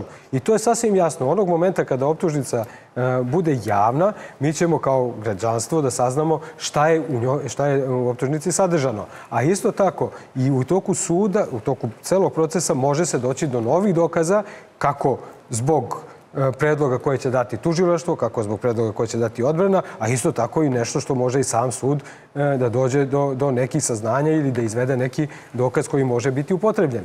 Razumete? Znači, e, da, svima nama je nekako e, kost u grlu. Zašto nije pronađen e, DNK? Zašto pre svega nije pronađeno telo? telo. Ukoliko pa, ja znam, je ja mala danka... vas dvojicu gospoda, gospode intelektualaca, vrhunskih profesionalaca, ljudi koji apelujete na neku, ajde kažemo, i umjerenost i suzdržanost, ali kako bih rekao, cela ta javnost je zainteresovana, znate da dete ima dve godine i svi smo mi neki roditelji, imamo u okruženju takve ljude, vidimo je roditelje koji se takođe muče. Jednostavno želimo više, želimo objašnjenje, želimo racionalizaciju, želimo da shvatimo neke stvari. Ali... Ja, ja vas potpuno razumem, ali razumite i tu interesovanje javnosti celokupne, zar ne? Potpuno. S tim u vezi, dozvolite, dakle, nastala je uh, kompletna dilema u javnosti kažu, dakle, prema ocu ovog okrivljenog je podignuta optužnica za prikrivanje krivičnog dela i za pomoć učiniocu krivičnog dela nakon njegovog izvršenja. Molim vas, istina je jedna Dakle, mi nikad nećemo biti sigurni do objavljivanja te optužnice. Detalje, da. Da li je to... Da li je to, dakle, da li se to optuženje odnosi na njegovog sina ili na možda ovog drugog okrivljenog? Budimo realni, budimo objektivni. Ja imam sledeći pravni stav. Dakle, samo sud može izreći krivičnu sankciju i samo sud može na osnovu odgovarajućih propisa iz materijalnog krivičnog zakonodavstva osloboditi okrivljenog jer u zakonu piše da se neće kazniti. Molim vas, molim sve da to razumeju. Ja ću samo, Evo, samo to može izreći. Ako, ako mogu ovaj... Samo kratko, samo kratko da vam kažem jednu stvar. Vi ste, gospodine Ranković, lepo rekli da ovo je, ili vi, gospodine Rosić, nije bitno, uh, rekli da ovo izgleda kao neka ispovest i pravdanje roditelja nesretih i svašta se pisalo, mora se reći. I užasno je šta se sve pisalo, ali ste takođe pomenuli da oni nemaju neke prave savjetnike. I čini mi se, i vi ste, gospodine Torosić, rekli objavljivanje na društvenim mrežama, na nekom TikToku koji najmanje spada u društvenu mrežu za takav sadržaj, opet navlači na njih ničim izazvanu za ne tako neku stigmu javnosti. Zato, to je odgovor na ono vaše prvo pitanje. E, zaista mi nije jasno, to je, ali uopšte ne mogu da uđem e, kao čovek u polemiku o tome da li e, su oni doneli pravu odluku ili nisu i čime su bili vođeni da, da to urade. Mislim, ne bio im niko u koži, to je ne užasno. Bi, ne bio im niko u koži nažalost... Najmanje što da ih osuđujemo svi, ali s druge strane ovo što sam sada rekao, izvinite. Da, da, da. Ja, ja zaista mislim da oni trebaju da imaju, možda imaju, ali se on javno ne eksponira neki pravni savjetnik koji bi ih vodio kroz ovako težak slučaj. Znači, to je nešto što ne do bog nikome da se desi, niti, e, niti mogu da zamislim kakva je njihova Agon. bol i patnja i, i šta, šta se oni proživljavaju, kako u, to, u samom činu da im je dete nestalo, kako god, i, i, e, a plus imamo i te optužbe koje koje su ovaj koje dolaze sa od strane nekih pojedinaca na račun njihov tako da e, zaista, zaista ne mogu, ne mogu da, da procenim da li je to prav, pravedno ili ne. Pre sam bio, ako već moram da kažem, za onu situaciju u kojoj su se oni nalazili pre toga, a to da su svih ovih sedam meseci ćutali, jednostavno se nisu oglašavali jer su pustili veru da e, A ko policiji- zna kakav je pritisak u njihovoj srci i dušima bio. Meni je, meni iskreno ako smem da kažem, izbor društvene mreže, TikTok mi nije možda najpogodniji, ali ko sam ja da sudim, ko smo mi da sudimo? Tako je, tako da, je. sad Moramo da biti bi- oprezni, ovo što je rekao gospodin Rotski malo, moramo biti oprezni u svemu ovome što pričamo. Znači, Jeste, pitanje kako je vrlo je nezahvalno sve ovo, zaista se trudimo da budemo u okviru onoga što... Da bi na kraju doživeli pretnje sa društvenih mreža. Pričat ćemo i o tome, Da. tako, pričat ćemo i o tome, gospodine Roskiću. Roditelji nestale Danke su rekli da nikada tokom istrage nisu menjali iskaz, da su u kuću u Banjskom polju odlazili i ranije, da su nebuloze da im je na računu leglo 30.000 evra ili da su posle nestanka svoje čerke otišli na odmor u Grčku i Nemačku. Ivana Majka Ilić je objasnila zašto komog danka, dana Danka nije imala svoju cuclu, zašto je na Facebooku prijatelji sa jednim od osumnjičenih, kao i ko je dobio pismo u kojem stoji da je Danka u Nemačkoj. E sad, Biljo, koliko ja znam, javljam iz reže da prekidam redovni program, imamo udarnu vest, a, sad je detalj.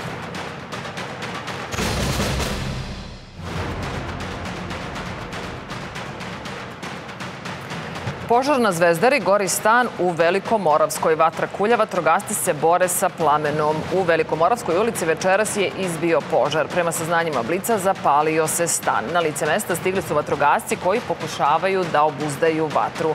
Vatra je planula na drugom spratu zgrade na Zvezdari, a za sada nema informacija kako je došlo do požara i da li je on u nekom trenutku i da li je neko u, tom trenutku bio u stanu.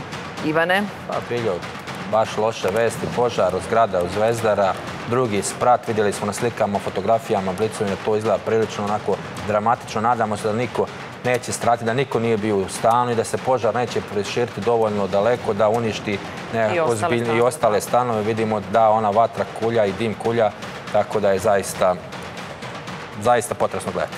Ali vraćamo se redovno program.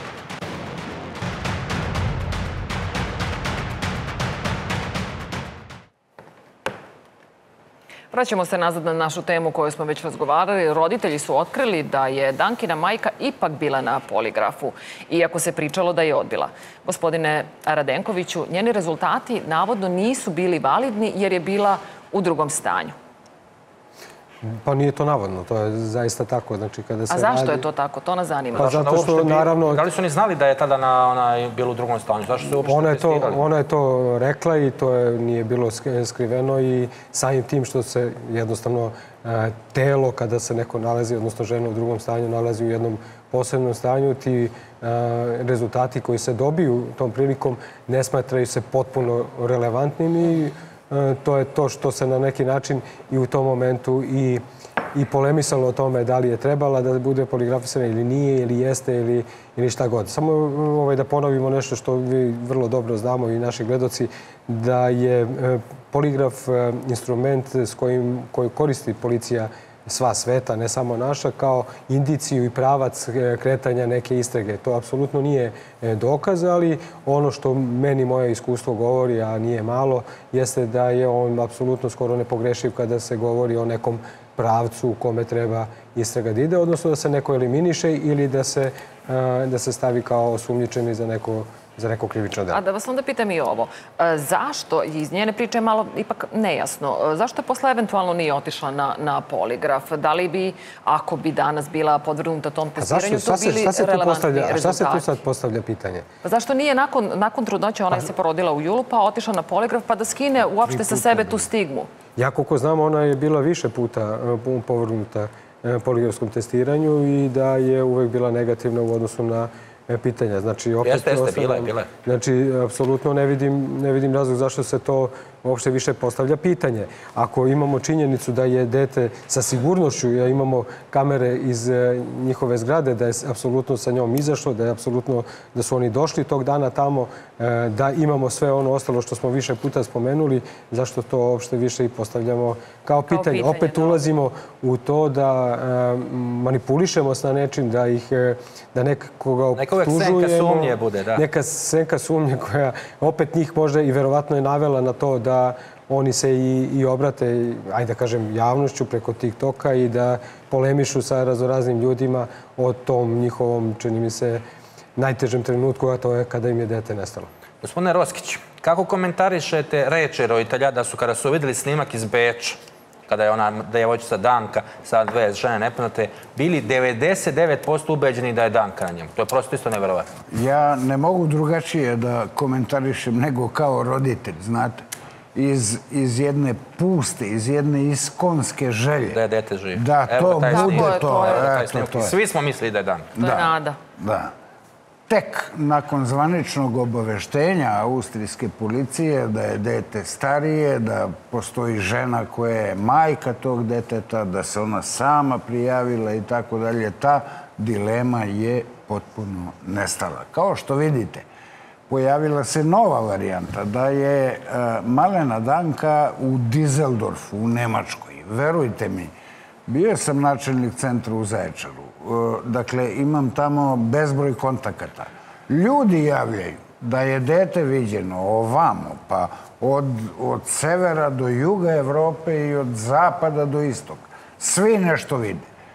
Kao što znamo, dakle, e, bile su i nekakve preteće poruke i, i informacije o tome da su roditelji primili e, od 30 do 130. Tako je, oni su pričali o tome mučeni ljudi. Ali zaista, zaista bi trebalo da, znate, kao, kao građani, valjda imamo neku moralnu obavezu da verujemo u rad tih državnih i pravosudnih organa, u policiju, u nekakvo tužilaštvo i tako dalje. Verujte mi da na, na bazi ličnih kontakata sa višim tužilaštvom u Zaječaru, ja ne mogu da verujem da bi neko iz višeg tog tužilaštva potpisao optužnicu, a da pritom lično nije ubeđen. Znači, vi ste, jeste razgovarali sa nekim od tih ljudi?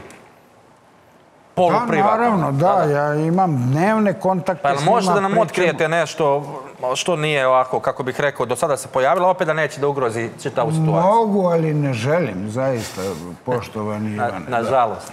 Da, dakle, dokle god optužnica ne stane na, na pravnu snagu, mi smo ovaj, zaista u, u jednom periodu kada očekujemo, kada oni koji veruju da je u pitanju teško ubistvo, oni se nadaju, e, svi drugi koji misle da je u pitanju neka, nekakva zavera i A znate, Imamo, neću sada... imamo, Ivane, mogu samo jedno... Može, može. Imamo, imamo, izvinjavam se što sam Naravno, sad izvinite vi, pa ovo je Imamo- živa emisija razgovor, vi ste Može, mnogo naravno, bitni da. da kažete. Imamo, imamo i e, sad onu činjenicu koja je isto provejavala kroz sredstva javnog informisanja, a to je da su se oni, kada se pojavio ovaj snimak, e, komunicirali i da su Jeste, jedan to je drugom sledeće govorili... pitanje, tako To Jeste, i pa evo, mislili, tako je, da dobro je možemo što, kao što sam pitanje ovaj predupredio ili nije dobro, ali nema Dobro veze. je, za dobro je, naravno, na, na samo kažite. putu e, da kaže dobro je, izvukli smo se i tako dalje. Te- Tu je meni interesantno kako je e, uopšte došlo do te informacije. Da li je to veštačenjem telefona došlo, što prepostavljam da jeste,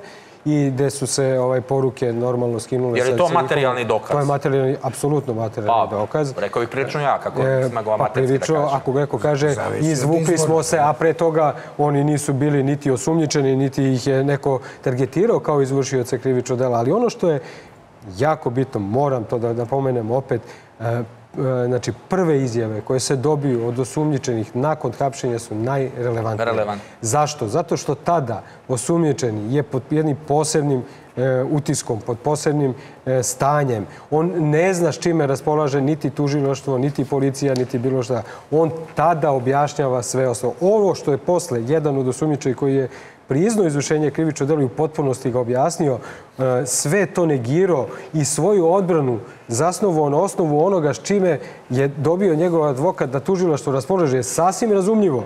I to ne treba tog čoveka ništa optuživati, on se čovek brani. Ali na tužilaštvo jeste da, da, da dokaže krivično delo koje mu se stavlja na teret. Čekajte, samo pre nego što Bilje postavi pitanje, ja moram da stanem u odbranu svih nas koji postavljamo ova pitanja koja vama čine se možda nekada i netačna ili ne, ne, neprincipijelna ili bilo kako.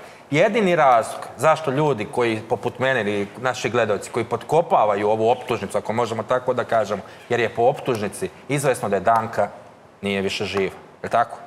I svi bi volili da dođe do nekoga vele obrta pa po cenu i da smo pogrešili ja mislim- i mi, ja- i tužilaštvo, ja- i čela, cela ja, država. Ja mislim da će to gospodin Roskić bolje objasniti kako pravno ide i kada se ona proglašava e, ovaj... A dobro, po optužnici ova dvojica gospoda, gospoda... A još uvek se ona da vodi kao nestala. Je li tako? Ali po optužnici su oni optuženi, koliko shvatam, za najteže krivično delo za ubistvo. Samim tim mora da postoji i čin ubistva.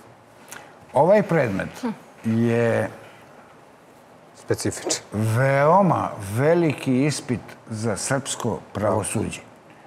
Budemo li ustanovili nakon ovakve optužnice u uverenju da će ona biti potvrđena, bude li sud ustanovio da nema dokaza za takvo optuženje, dakle da optuženi nisu izvršili to krivično delo, oni zarad budućnosti pravosuđa Republike Srbije moraju biti oslobođeni. To smo malo pre rekli. Da. Bude li sud ustanovio kako god da nama koji smo roditelji, babe i dede i sve ostalo, koji na to gledamo drugačije, dakle, koji unapred osuđujemo optužene, verujte mi da je to ponor, to je rupa bez dna za Republiku Srbiju i za njeno pravosuđe.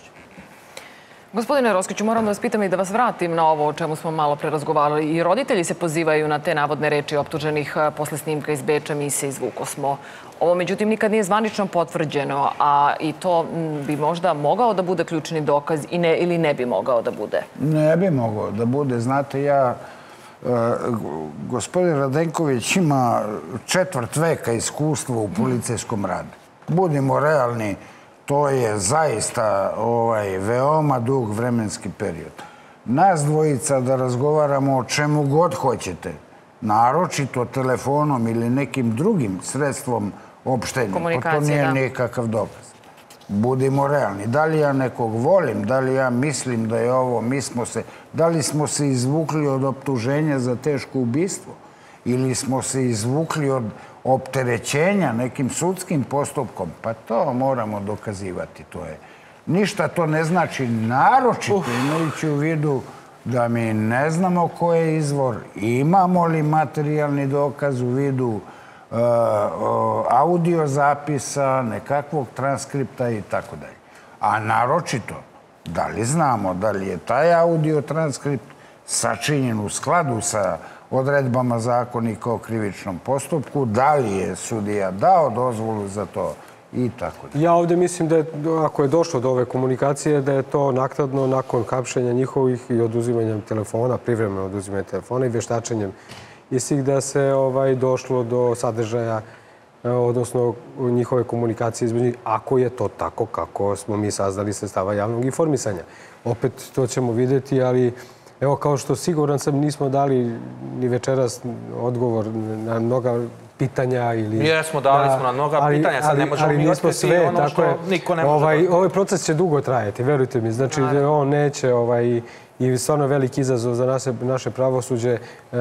Vrlo je, ovaj, volo bi kada se završi, kako god da se završi, samo da bude pravda i pravičnost zadovoljena, da uvek iz svega ovoga izvučemo neku pouku i da analiziramo gde smo eventualno svi mi u sistemu možda napravili neku grešku kako je sutra ne bi napravili opet zarad iste te pravde i pravičnosti.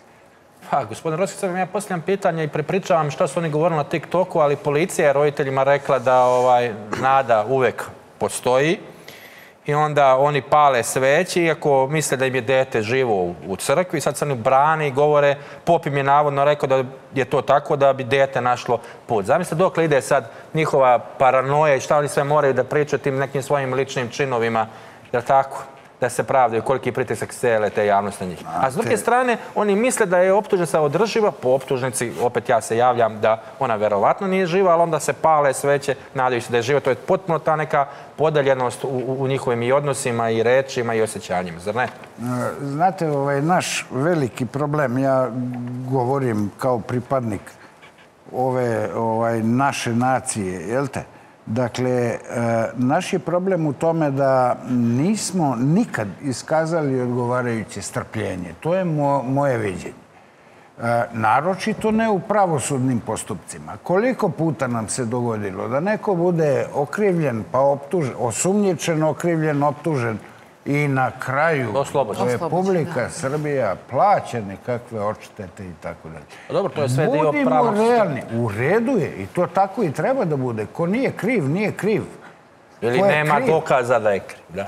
Kako god, iz bilo kog razloga. Dakle, ne možemo dokazati jer nema dokaza, jer učinjeno delo nije krivično delo i sve po zakoniku o krivičnom. Budimo realni.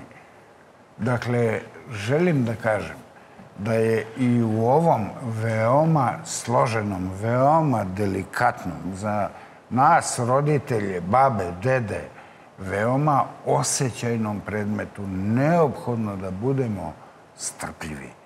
Sačekajmo da optužnica najpre bude potvrđena. Tražite nešto od čega ovaj narod najmanje ima i po čemu je najmanje čuven. On Tako strpljiv, je. strpljiv nismo da začkamo ruča. Nažalost, da smo bili, ja kao pripadnik ovog naroda imam pravo to da kažem. Dajmo da malo sačekamo. Da. Gospodo, hvala vam što ste večeras bili gosti u Blicu uživo i otvorili smo mnoga pitanja, na mnoga smo odgovorili, na neka čekamo odgovor. Hvala vam. Hvala vam. A u nastavku programa gledat ćete i sljedeće teme.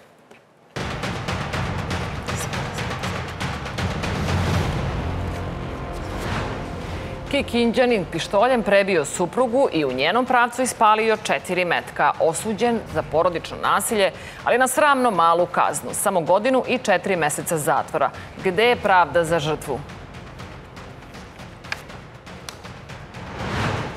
Futbaleri Orlovi, od sjaja do očaja, od izdajnika do heroja. Kako se odnos prema futbalu i reprezentaciji promenio za samo 90 minuta?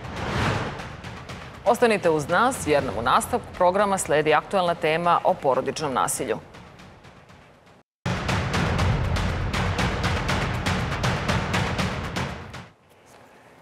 Još jedna presuda za krvničko nasilje u porodici i još jedno razočaranje. Nasilnik koji je suprugu tukao drškom pištolja, prislanjao je cev na glavu i pretio da će je ubiti, osuđen je samo na samo godinu i četiri mjeseca zatvora. Goran B. iz Kikinde zverski je tukao svoju suprugu. Ispalio je dva metka u njenom pravcu, udarao je i pištoljem i rukama. Pretio je da će je ubiti. Nesrećenu ženu je spasila čerka koja je zatekla stravičnu scenu u porodičnoj kući. Ispričala je za medije jezive detalje jer je, kako je kazala, želela da zaštiti majku i sve žene koje trpe nasilje. Neka svi znaju kakav je čovek i šta je uradio moje mami, rekla je čerka. Uh, velika hrabrost. Ali ni to, ni dokaz, ni lekarski izveštaj, ni traume koje će žrtva nasilja nositi do kraja života nisu dovoljni za strožu kaznu. Kako je to moguće? U državi koja ima čak i Ministarstvo za rodnu ravnopravnost, sprečavanje nasilja nad ženama i ekonomsko i političko osnaživanje žena. To večeras pitamo našega gosta, uvaženog advokata Daneta Žigića koji je postupao u ovom slučaju. Dobro večer, gospodine Žigiću. Za početak, Goran B. je za nasilje u porodici osuđen na godinu dana zatvora, a za nedozvoljeno držanje oružja šest meseci. Međutim, sud mu je tu kaznu smanjio na godinu i četiri meseca. Kako je to moguće? Dobro večer pre svega svima na vama u studiju i gledalcima. Što se tiče vašeg pitanja, ja nemam i dalje, čekam da dobijemo obrazloženu presudu na osnovu koje bi mogli videti šta je sudiju navelo da odredi kaznu koju je odredila. Ali gospodine Žegiću, pobogu, šta bi moglo da piše? Šta bi moralo da se napiše da, Da bi mi desi, kao da. shvatili zašto je to tako? Upravo to i kažem. Znači, onog momenta kada dobijemo da obrazloženje presude, onog momenta kada dobijemo obrazloženje presude, mi ćemo moći znati šta je sudiju navelo da izrekne uliku kaznu. Ukoliko je motiv sudije bio da Gledajte slike, dragi podstakne, gledalci. Da ohrabri žrtve nasilja, smatram da to nije urađeno, s obzirom da je ovde a, krivično delo za nasilje u porodici stav 2, koje je izvršeno sa oružjem ili nekim drugim predmetom, kako kaže zakonik, te su kazne mnogo veće nego za osnovno delo. Te samim tim smatram da ne možeš i društvo ne može da se ohrabri da prijavljuje nasilje kada je ovako stravično nasilje počinjeno, a tako blago kažnjeno. Moram da vas pitam i šta je sledeći korak? Može li se ova odluka suda promeniti? Apsolutno može. E, kako može da se promeni? Jednostavno. Pravo na žalbu postoji i to mora tužilaštvo da iskoristi, pošto u ovom postupku ovlašćena lica za podnošenje žalbe su branilac okrivljenog i tužilaštvo. Tužilaštvo takođe, koje je tražilo svojim optužnim aktom izricanje kazne zatvora tri godine za nasilje u porodici, tri godine za neovlašćeno držanje oružja, po meni treba da pokaže, da, da, da razume i da ohrabri prijavljivanje nasilja. Te da pusti žalbu, odnosno da podnese žalbu kojom bi tražilo veću kaznu. Čuli smo koliko je bio strašan napad na žrtvu koju ste vi zastupali na sudu. Da čujemo pre nego što nastavimo tačno šta je ispričala njena čerka. Ona nam je i dostavila strašne slike sa lica mesta, rupe u zidu od metaka, krv na krevetu gde je bila žrtva, sve njene povrede. Majka me je pozvala i rekla da je otac tuče. Odmah sam otišla kod njih i zatekla jezivu scenu. Oboje su bili u dnevnoj sobi, a majka je bila skroz krvava i natečene glave od silnih udaraca. Po podu je bilo razbacane municije, na stolu dva pištolja od kojih je samo za jedan otac imao dozvolu. Bilo je tu i drugog oružja, kao jedna puška naslonjena na fotelju. Majka je ležala sklupčara na krvavom dvosedu zatvorenih očiju od podliva zadobijenih od udaraca pištoljem po glavi. Tada sam videla i neke rupe i shvatila da je otac pucao u nju. Ispalio je četiri metka ka njoj. Dva su joj proletala pored grudnog koša, prošla kroz dvosed na kome je sedela i zabila se u zid, a druga dva metka su joj proletala pored glave, oštetivši joj bubnu opnu. Prema svedočenju čerke, u kući je zatekla oca kako bije majku, ali gomilo oružje. Pištolj koji im je tukao, pušku, ali i još dva pištolja. Pa zar to nije dovoljno samo po sebi da, da bude strože osuđen? Ja se slažem apsolutno sa vama da je to sasvim dovoljno da bude strože osuđen. Međutim, sudija sudi na osnovu a, svog ubeđenja i sudija kada sudi donosi presudu mora da gleda kako olakšavajuće, tako i otežavajuće okolnosti s obzirom da samo jedna olakšavajuća okolnost postoji na strani ovde okrivljenog lica, a to je da to lice nije bilo ranije osuđivano. Da, što mu je olakšavajuća okolnost? Ovo sud mora tako da ceni. A s druge strane, ovo je jedan od slučaja koji je bio veoma težak, kako za tužilaštvo, tako za sud, tako i ja verujem za celu Kikindu, koja nije imala ovakav slučaj duži niz godina. I ono što verujem, da ovo nije jedini slučaj u Kikindi nasilja u porodici. Ali baš zbog toga, Da, ovo je Smat... pokazno. Eto, prijavite pa ćemo pustiti nasilnik relativno brzo. Smatram da treba apsolutno strožije kažnjavanje nasilja u porodici. Zato jeste dobar taj nacrt zakona, krivičnog zakonika da. koji pooštrava kazne. Pričam samo o krivičnim, o krivičnim delima iz braka i porodice, gde se pooštravaju kazne zatvora, gde se smatra da je osnovno delo ne kao do sada propisana kazna zatvora 3 meseca, 3 godine, već ide 6 meseci do 5 godina. I 6 godina, izvinjavam se. Mm -hmm. Naravno, vidjet ćemo šta će biti usvojeno od svega toga.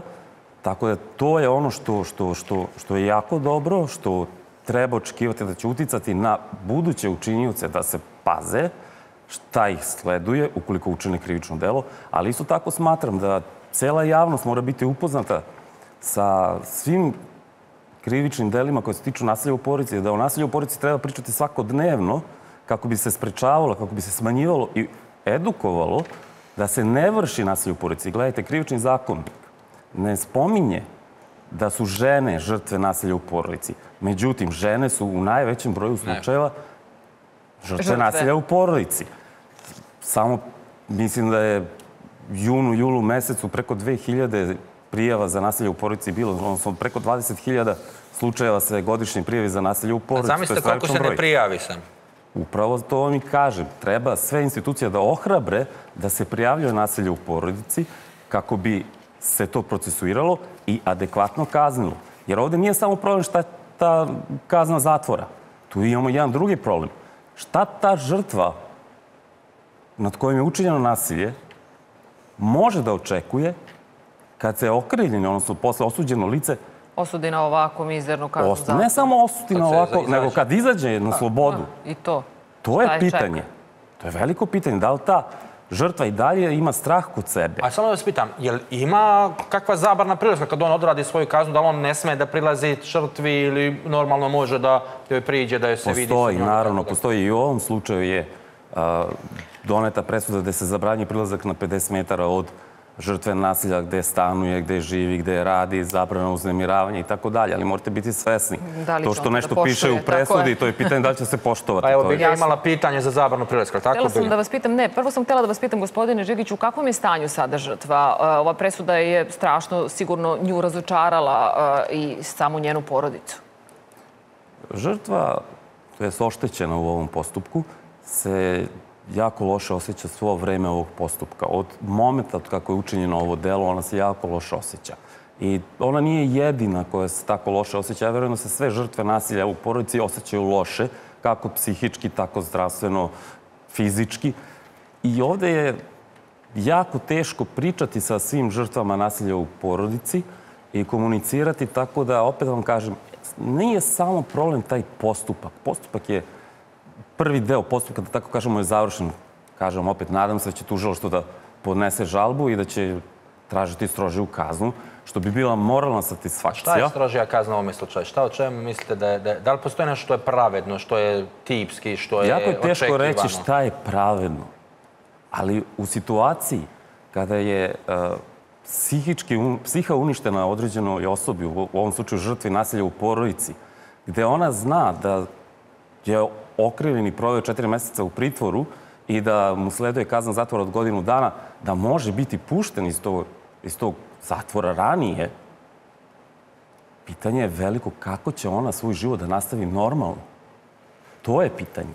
To što će on biti u zatvoru godinu dana, to je jako mali, kratak period, da se oporavi žrtva nasilja od svega ovoga, a već mora doći u situaciju da se pita, pa dobro, brine. već dolazi, godinu dana brzo prođe. Jasno, jasno, jasno onda ću A gospodine Žigić, da malo samo i ubrzamo, sa nama je večeras i Hajri Ramadani. Ona je danas predsjednica udruženja žrtava nasilja Srbije. Osnovala ga je kako bi pomogla žrtvama nasilja koje su prošle kroz pako koje je i sama ona prolazila. Hvala vam, gospođo Hajrija. Vi ste završili posle 26 godina na ulici, izbačeni ste iz sobstvene kuće i što je još gore, godinama ste trpeli stravičnu torturu i psihičku i fizičku. Odlučili ste se da progovorite javno. Zašto? Šta vas je nateralo da javno progovorite? Pa, nateralo me, dobro večer pre svega vama u studiju i svim gledalcima, ovaj, pa šta me nateralo, kad sam ušla u sigurnu kuću i videla sam uh, žrtve nasilja, u stvari su deče koje nemaju uopšte uh, zaštitu i prava, onda sam uh, jednostavno shvatila da mora to je, da se progovori i da se kaže u stvari da uh, kroz ta sve žrtve prolaze, tek onda kad i zatraže pomoć. Ja obično kažem, nije lako biti žrtva posle toga kad vi zatražite pomoć i kad izađete e, sa e, celim problemom, jednostavno vas ni društvo e, ne, ne, ne shvata, ne samo društvo, nego uopšte institucije.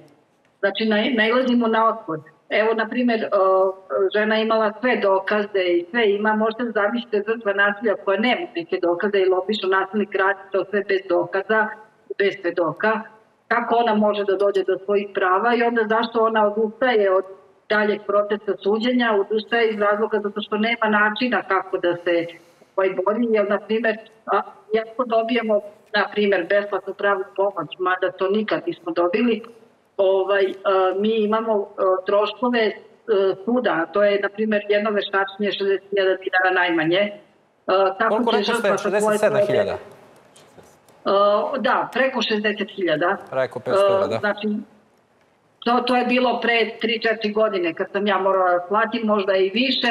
Možete zamisliti, na primjer, žena sa troje dece koja je podstanar i ima slučne, kako će ona to da izdrži, pritom možda ne može da radi. Jer Evo, po vašem konkretnom malo. slučaju, vi ste ostali bez kuće, vi sin sami na ulici.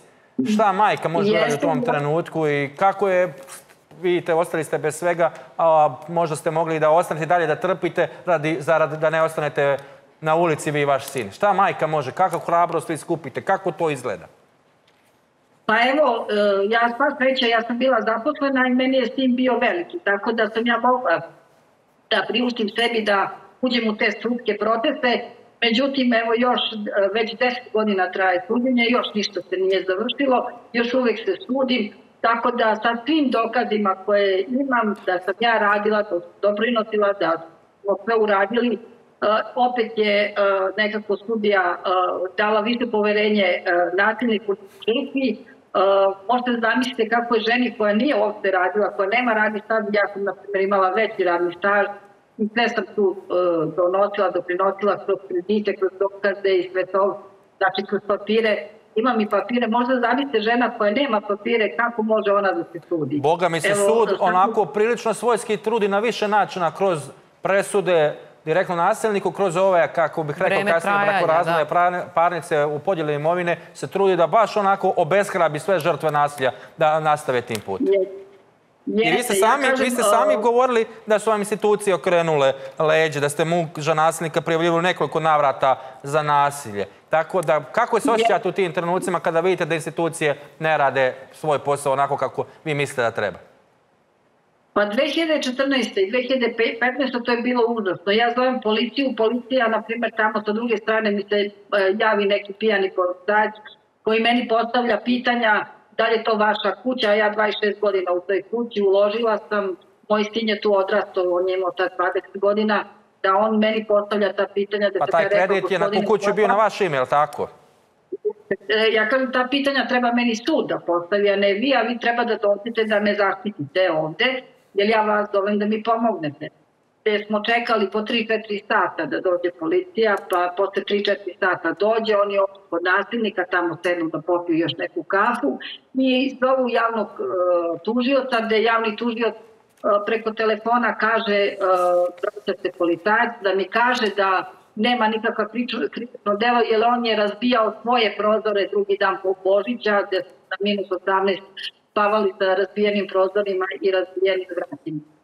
Znači, eto, toliko je, e, toliko je bilo o tome koliko su zaštitili e, dvo, dva života, na primjer, e, odgovorna lica. Ja kažem, e, pošto sam bila u radnim grupama za izmenu dopunu zakona, ovaj, kažem da su e, zakoni nama jako dobri, nego zakon treba da se osmisli za lica koje treba da izvrše zakon, koji e, ne, ne provode zakon u stvari, Uh, jer žrtva nasilja treba pomoć od institucija, kao što mi pružamo u udruženju pomoć i gde ne ispuštamo sve do kraja procesa dok ne, ne, ne ostvore svoja prava i svoju pravdu, gde svako dete ima pravo na, na to, jer kažem, u, u svemu tome su najveće žrtve deca, niko drugi, nego deca ispaštuju najviše, tako da Jasno. ovaj, uh, koliko god da Hajrija, Gospođo Hajrija, imamo samo jedno pitanje za kraj, ponestalo nam je vremena. Kažite mi, molim vas, da li vi imate neku poruku za sve žrtve i kakva bi ta poruka bila? Pa poruka bi bila, znači naše korisnice uvek kažem, niste vi žrtve, vi ste heroji, žrtve su one koje Jeste. više nema.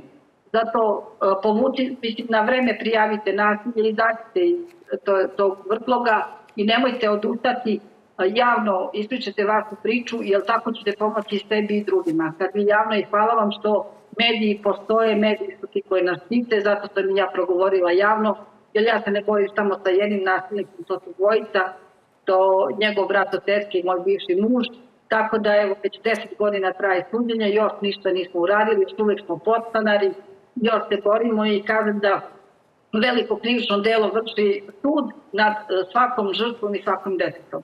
Da, Hajrija, e, vi ste heroj, zaista ste veliki heroj. Ja se ježim dok razgovaram sa vama, muškarac sam. Svaka vam čast, hvala vam što postojite, hvala vam što nastavljate borbu, a mi smo tu kao mediji i Blitz RS i Blitz televizija će uvijek biti tu da vam da podršku. Hvala vam, neka je vaš sin ponosan na vas, svi smo ponosni na vas. Hvala još jednom. Hvala vam, sve najbolje. Gospodine Žigiću, tokom oktobra počeće javna rasprava o izmenama krivičnog zakona. Njima je predviđena dupla veća kazna za nasilje u porodici.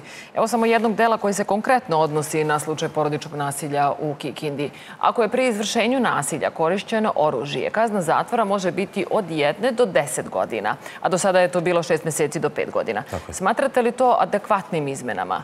Da li je to dobar put? Prvo moramo da sačekamo da se usvoji taj nacrt Tako. zakona, da vidimo da će biti baš tako kao što piše u nacrtu zakona. Nadam se da hoće, s obzirom da to neće odmah dati rezultate.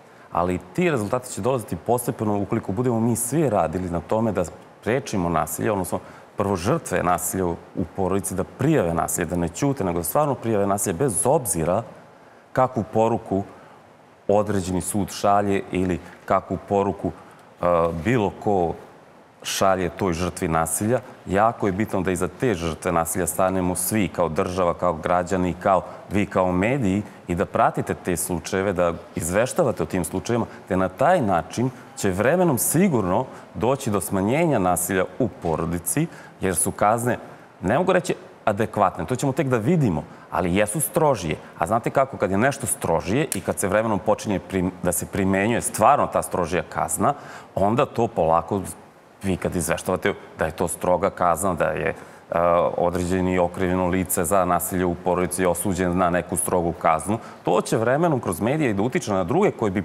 pomislili možda da izvrše nasilje, da ipak razmisle da li je vredno, da li treba. Mislim, prvo onaj ko želi da izvrši nasilje u porodici, nek se pita da li je to vredno. Druga stvar, nek potraži neku stručnu pomoć zbog tih svojih misli. Čim pođe ta misla kroz glavu. Nažalost, Nadajmo se da će raznim ljudima. Nadajmo se da će e, na kraju makar žrtve uh, uh, biti, da će biti pravde za sve ove žrtve. Mnogo vam hvala što ste večeras govorili za, za Blicu živo. Hvala me, računajte na našu pomoć. Hvala vama.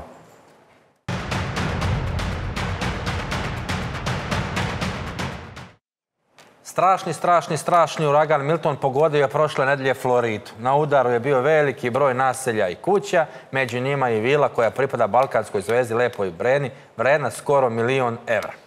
Lepa Brena i Boba Živojinović godinama posjeduju atraktivnu nekretninu u Majamiju, u kojoj često borave i uživaju sa svojom porodicom. Boba se trenutno nalazi na Floridi, a za Blitz televiziju ekskluzivno je govorio kako je uspeo da zaštiti svoju kuću. Mogu da kažem da smo mi s ove istočne strane imali sreću i da nas nije zakačilo tako kao što je zapadnu obalu. Ovde je normalno sve, svi normalno, svi e, i na istočnoj obali su se pripremali za to. E, kako se pripremaju, mislim, sve u svemu, sve što je e, napolju što držite, to morate da sklonite jer može se desi da u trenutku to nekog vetra možda se razbiju prozor ili se napravi neka šteta, tako znači to sve mora da se zaštiti. Stradi one stare kuće koje su 50. i 60. godina, koje su se pravile od drveta i gde su gde je to onako lake građe. Nove kuće su mnogo čvršće od čvrstog materijala, I šta je vrlo bitno, bitno je da uh, prozori i vrata staklena i ono sve, uh, da kažem, to, su, to je staklo debljine kao pancir, koje je obavezno da svaka kuća koja se gradi da ima taj uh, ili takozvani hurricane approved window, znači uh, prozore koji su uh, izdržljivi na uh, na uragane i do, čak i do 150-160 milja na sat ili preko 200 i nešto gde ne mogu da naš, naštete, da kažem, kući. Imamo mi normalno ljude koji brinu o našoj kući, koji su morali sve da unesu unutra, jer ne znate u kom trenutku i koliko će i gde će, mislim, oni otprilike, mislim, ne otprilike, znaju, ali uh, treba ozbiljno shvatiti svaki taj uragan, E, i, i kako će i u kom e, delu da, e, da krene i gde će se završiti. Podsjećamo da je uragan Milton ostavio više od 2 miliona stanovnika širom Floride bez struje i da su čitava naselja u mraku, a mnogim mestima u Floridi preti opasnost od poplava. Iz Amerike konačno vraćamo se u Srbiju i za kraj aktualna sportska tema i pogodite, dobra je, pozitivno je.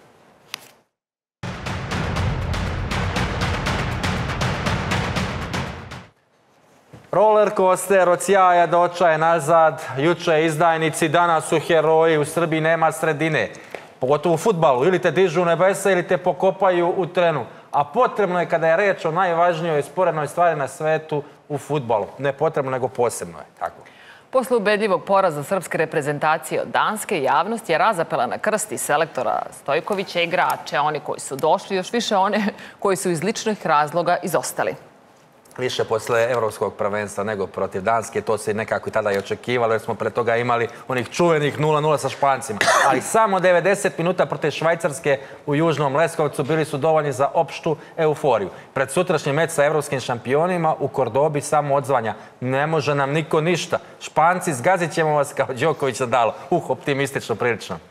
Posle pobede nad Švajcarskom, čak je i najpopularniji srpski futbalski analitičar Rade Bogdanović imao više pozitivnih nego negativnih Reče ti cinik i utisaka. kritičar Rade. Moramo da napomenemo kad sami sebe demantujemo, a ja uvek mogu sam sebe da demantujem. A to je da Mitrović i Rajković igraju u Saudijskoj Arabiji. Znači ljudi, nije pitanje lige i kvaliteta, nego možeš li ili ne možeš, hoćeš li ili nećeš. Pokazali su po ko zna koji put naši futbaleri da su prilagodljivi, posebno po ovoj njivi od terena. Bio je jako loš teren. Hvala Bogu da se niko nije povredio sem Saše Lukića, a bilo je još kandidata. Mislim da švajcarci nisu bili loši, samo su bili iznenađeni uslovima. Mi smo navikli na njih. Ko su ti novi klinci koji su ostavili dušu na terenu? Ne možemo bez Mitrovića, Milenkovića i Pavlovića. A šta je sa Vlahovićom i braćom Milinković-Savić? Da li treba da igramo na punim stadionima u manjim gradovima ili u Beogradu u pozorišnoj atmosferi? Šta i koliko može ova nova Srbija? O svim ovim temama večeras moj kolega Ivan razgovara sa urednikom s portala Veljkom Ivanovićem, koji već decenijama prati srpski nacionalni tim i sve što se dešava oko njega. Draga gospodo, izvolite. Još od onoga Montevideo 1932. godine. Blizu si. Veljko, kaži mi, kaži mi na početku da li stvarno sve, pa i na futbal gledamo tako crno-belo. Posle Gledam. danske reprezentativci su bili neznalice, a izdajnici sad su postali opet heroji. A pre te danske, ono, sećaš se sa onim špancima, uništili smo ja malo. Pa, pa se sećaš Portugalije, kako smo Ronalda uništili. Tako je. Pre toga dobit ćemo pet komada, onda tamo pobedimo i onda to su nacionalni heroji. Treba Pixija popeti na Beograđanku i tako dalje. Kod nas je to normalno, moraš da pobeđuješ, nije samo u sportu, znači moraš da budeš uvijek na vrhu, inače si maltene niko i ništa. Eto, takvi Ajmo smo. malo sad stručnija strana u odnosu... Izginu utakmici, kako se ponašao posle svake akcije, posle svakog gol, jeste. Dakle, slađe mi je njega da vidim nego da mi se neko šeta ko balerina, gde god da igra, kako god se zove i preziva, pošteno ti kažem. Koliko god i nek prezime- izgubimo- god prezimena da ima. Tako, da, da, da. Tačno. Ovaj, reci mi, da li ti očekuješ ipak da se vrate te neke, ajde da kažemo, futbalske malo zvezde narodnih okupljanja, recimo Vlahović, koga zaista očekujem. Od Vlahovića očekujem. Vlahovića braća očekujem. Milinković-Savić, pogotovo na Sergeja. Vla- Vlahovića očekujem iz više razloga. Saniraće taj, nadam se, privatni problem koji ima. E, on je potreban našoj reprezentaciji, pre svega zašto je odličan igrač, dalje što je jako mlad i on možda bude neki stožer naše igre, možda čak i narednih deset godina. Što se Sergija tiče, ne znam, stvarno ne znam, nemam nikakve informacije. Eto, po onome što mi vidimo, pa realno ni ne mora da se vrati, nek se koncentriše na karijeru koju ima u Saudijskoj Arabiji, tamo vidim igra odlično. I, i, i eto, više bih volao, kažem ti, da vidim ove futbalere poput Binomančevića, poput Zdjelara, moramo da kažemo. Koji je spojio Koji Mitrovića. je spojio Mitrovića, koji je spojio Erakovića, desno, fantastičnu loptu, to je, On to je svima promaklo, to je svima ono, promaklo. On- za Jović. tako da, da moramo da budemo pošteni, da pošteno pričamo prema tim momcima koji su izgarali do daske i pobedili kvalitetni tim. Bilo je sreće, moramo da priznamo. priznamo. Imali su i oni sreće. I imali su, dakle, i Prečka je bila naš saveznik, i Rajković koji brani kao monstrum, odbranio je penal. Ali dva Zicara Jović, mogli smo i da damo Ja dva, ali da očekujem. Jovića vrlo brzo. Možda čak, neka mi se smeju ljudi, možda čak i u Španiji ovaj, postigne gol. U Leskovcu smo bili svedoci punog stadiona navijanja, sad imamo još par tih, uslovno rečeno manjih stadiona, Zaječar, Loznica, jel tako? Tako je. Da li misliš da tamo treba reprezentacija da igra? Eno se napuni se stadion, ljudi navijaju, zaista vole, sve je bolje nego u Beogradu. Mislim da dođe treba. 10.000. Da, mora obavezno tako da bude. Dakle, u tim manjim sredinama, pogotovo koji imaju adekvatne uslove, a to su ovi nove, novi stadioni, moraju da igraju zato da se ne lažemo, da budemo Ali i tu pošteni da kažemo... sa travom, s terenom Samo da, da ti ovo, reći ti za travu, ali da budemo pošteni i da kažemo, dakle, kad igra se na Marakani ili odavno se igralo je, poslednji put i na stadionu Partizana, to je polu prazno, to nije ta atmosfera, nemoj da, da, da se za- zaluđujemo da imamo izgrađen kult reprezentacije, nemamo, počeli smo da ga zidamo, nadam se. Dakle, bolje da idemo u manje sredine, 8, 10, 12, 15 hiljada gledalaca kapacitet, stadiona, da to grmi i da te ljudi pošteno navijaju i da vide ovi naši momci da pošteno će da igraju za te ljude koji izgaraju i koji su došli da popune ceo stadion. Što se trave tiče, što se trave tiče, to je jedna bruka i sramota da, da nacionalni tim mora da igra na takvoj, na takvoj podlozi. Čija je bruka i sramota? To je nije? Ne, to je, to je ljudi iz Fulskog kluba Dubočica, tu nema dileme, dobili su stadion na poklon, iz čista mira im je sleteo, sleteo uh, srpski Old Trafford, je sleteo tamo u, Leskovac i oni se tako odnose prema... Ne može meni niko da objasni da on je mogla da, da, da bude bar pet puta bolje, ovo je stvarno sramota. Stvarno, stvarno, stvarno izgledno užasno. Reci mi, ovaj, sutra Španci, možemo li da izvučemo neki pozitivan rezultat? Jer igra Jamal. Pa ja malo, ne, tu je bila neka frka oko njega, međutim, koliko vidim, nešto sam pre dva, tri sata pogledao tamo Marku ili jasno, zaboravio sam, ovaj, čini mi se da ta povreda uopšte nije toliko ozbiljna i da je to nešto trenutno. Ja ga očekujem ovaj, u, sastavu, da li od početka, da li drugo polovreme, to već ne znam, to zna De La Fuente. Što se tiče nas, ne bih e, ništa da prognoziram. Stvarno je nezahvalno kada gostuješ najboljoj ekipi u Evropi, koja je ubedljivo najbolja ekipa u Evropi. Ne igram, kažu, troje, četvoro, petoro, pa mislim, to se ne oseti. Ne osjeti. Kod njih... A Ovaj, vidiš, i oni da- igraju u Kordobi, ne igraju ni oni Madrid pa i oni imaju pa su- tu, tu, tu eto, akciju da igraju u Kordobi, koji je sjajan grad, eto, sticajem okolnosti znam, fenomenalan, e, jedan stadion e, novi, Arhanđel se zove. U Arhanđel? Da, novi Arhanđel u Verujem našem da će prevodu. trava tamo da bude... Pa, trava, Arhanđel, trava, daće krila Arhanđel našim orlovima. Nadamo se. Uglavnom, e, ne bi, nemam neka ogromna očekivanja, ali imam samo jedno značajno i najvažnije. Dakle, da koliko god da su umorni, posle utakmice sa Švajcarskom sigurno su očekuješ umorni. neke rokade? Nisam siguran zato što nema, da kažemo, dovoljno, dovoljno mesa, odnosno dovoljno robe Možda izlogu. nema mesa, ali imamo Nema. mi Mesija, tako da ovaj... Imamo ovaj Mesija, Maksimović. imamo Mesija, da njega očekujem na terenu, da li Vrlo- od početka, ne znam, ali svakako.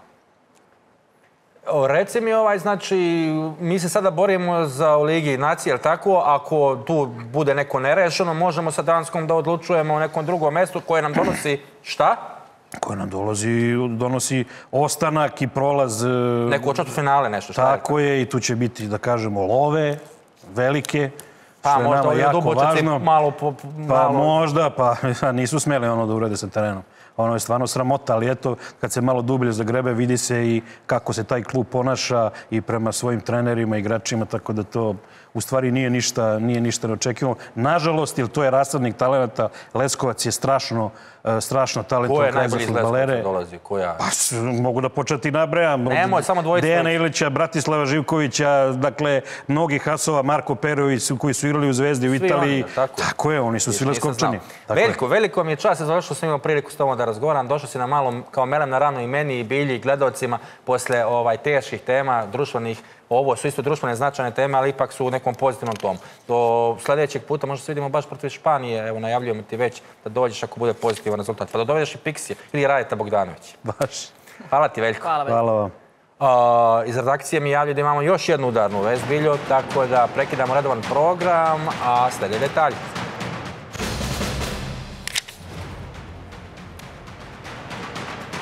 Loše vesti. Ima mrtvih u požaru na Zvezdari. Plamen je buknuo na drugom spratu stana u Velikomoravskoj ulici, piše Blitz.rs. Jedna osoba je poginula u požaru koji je ovog popodneva izbio na drugom spratu u zgradi na Zvezdari.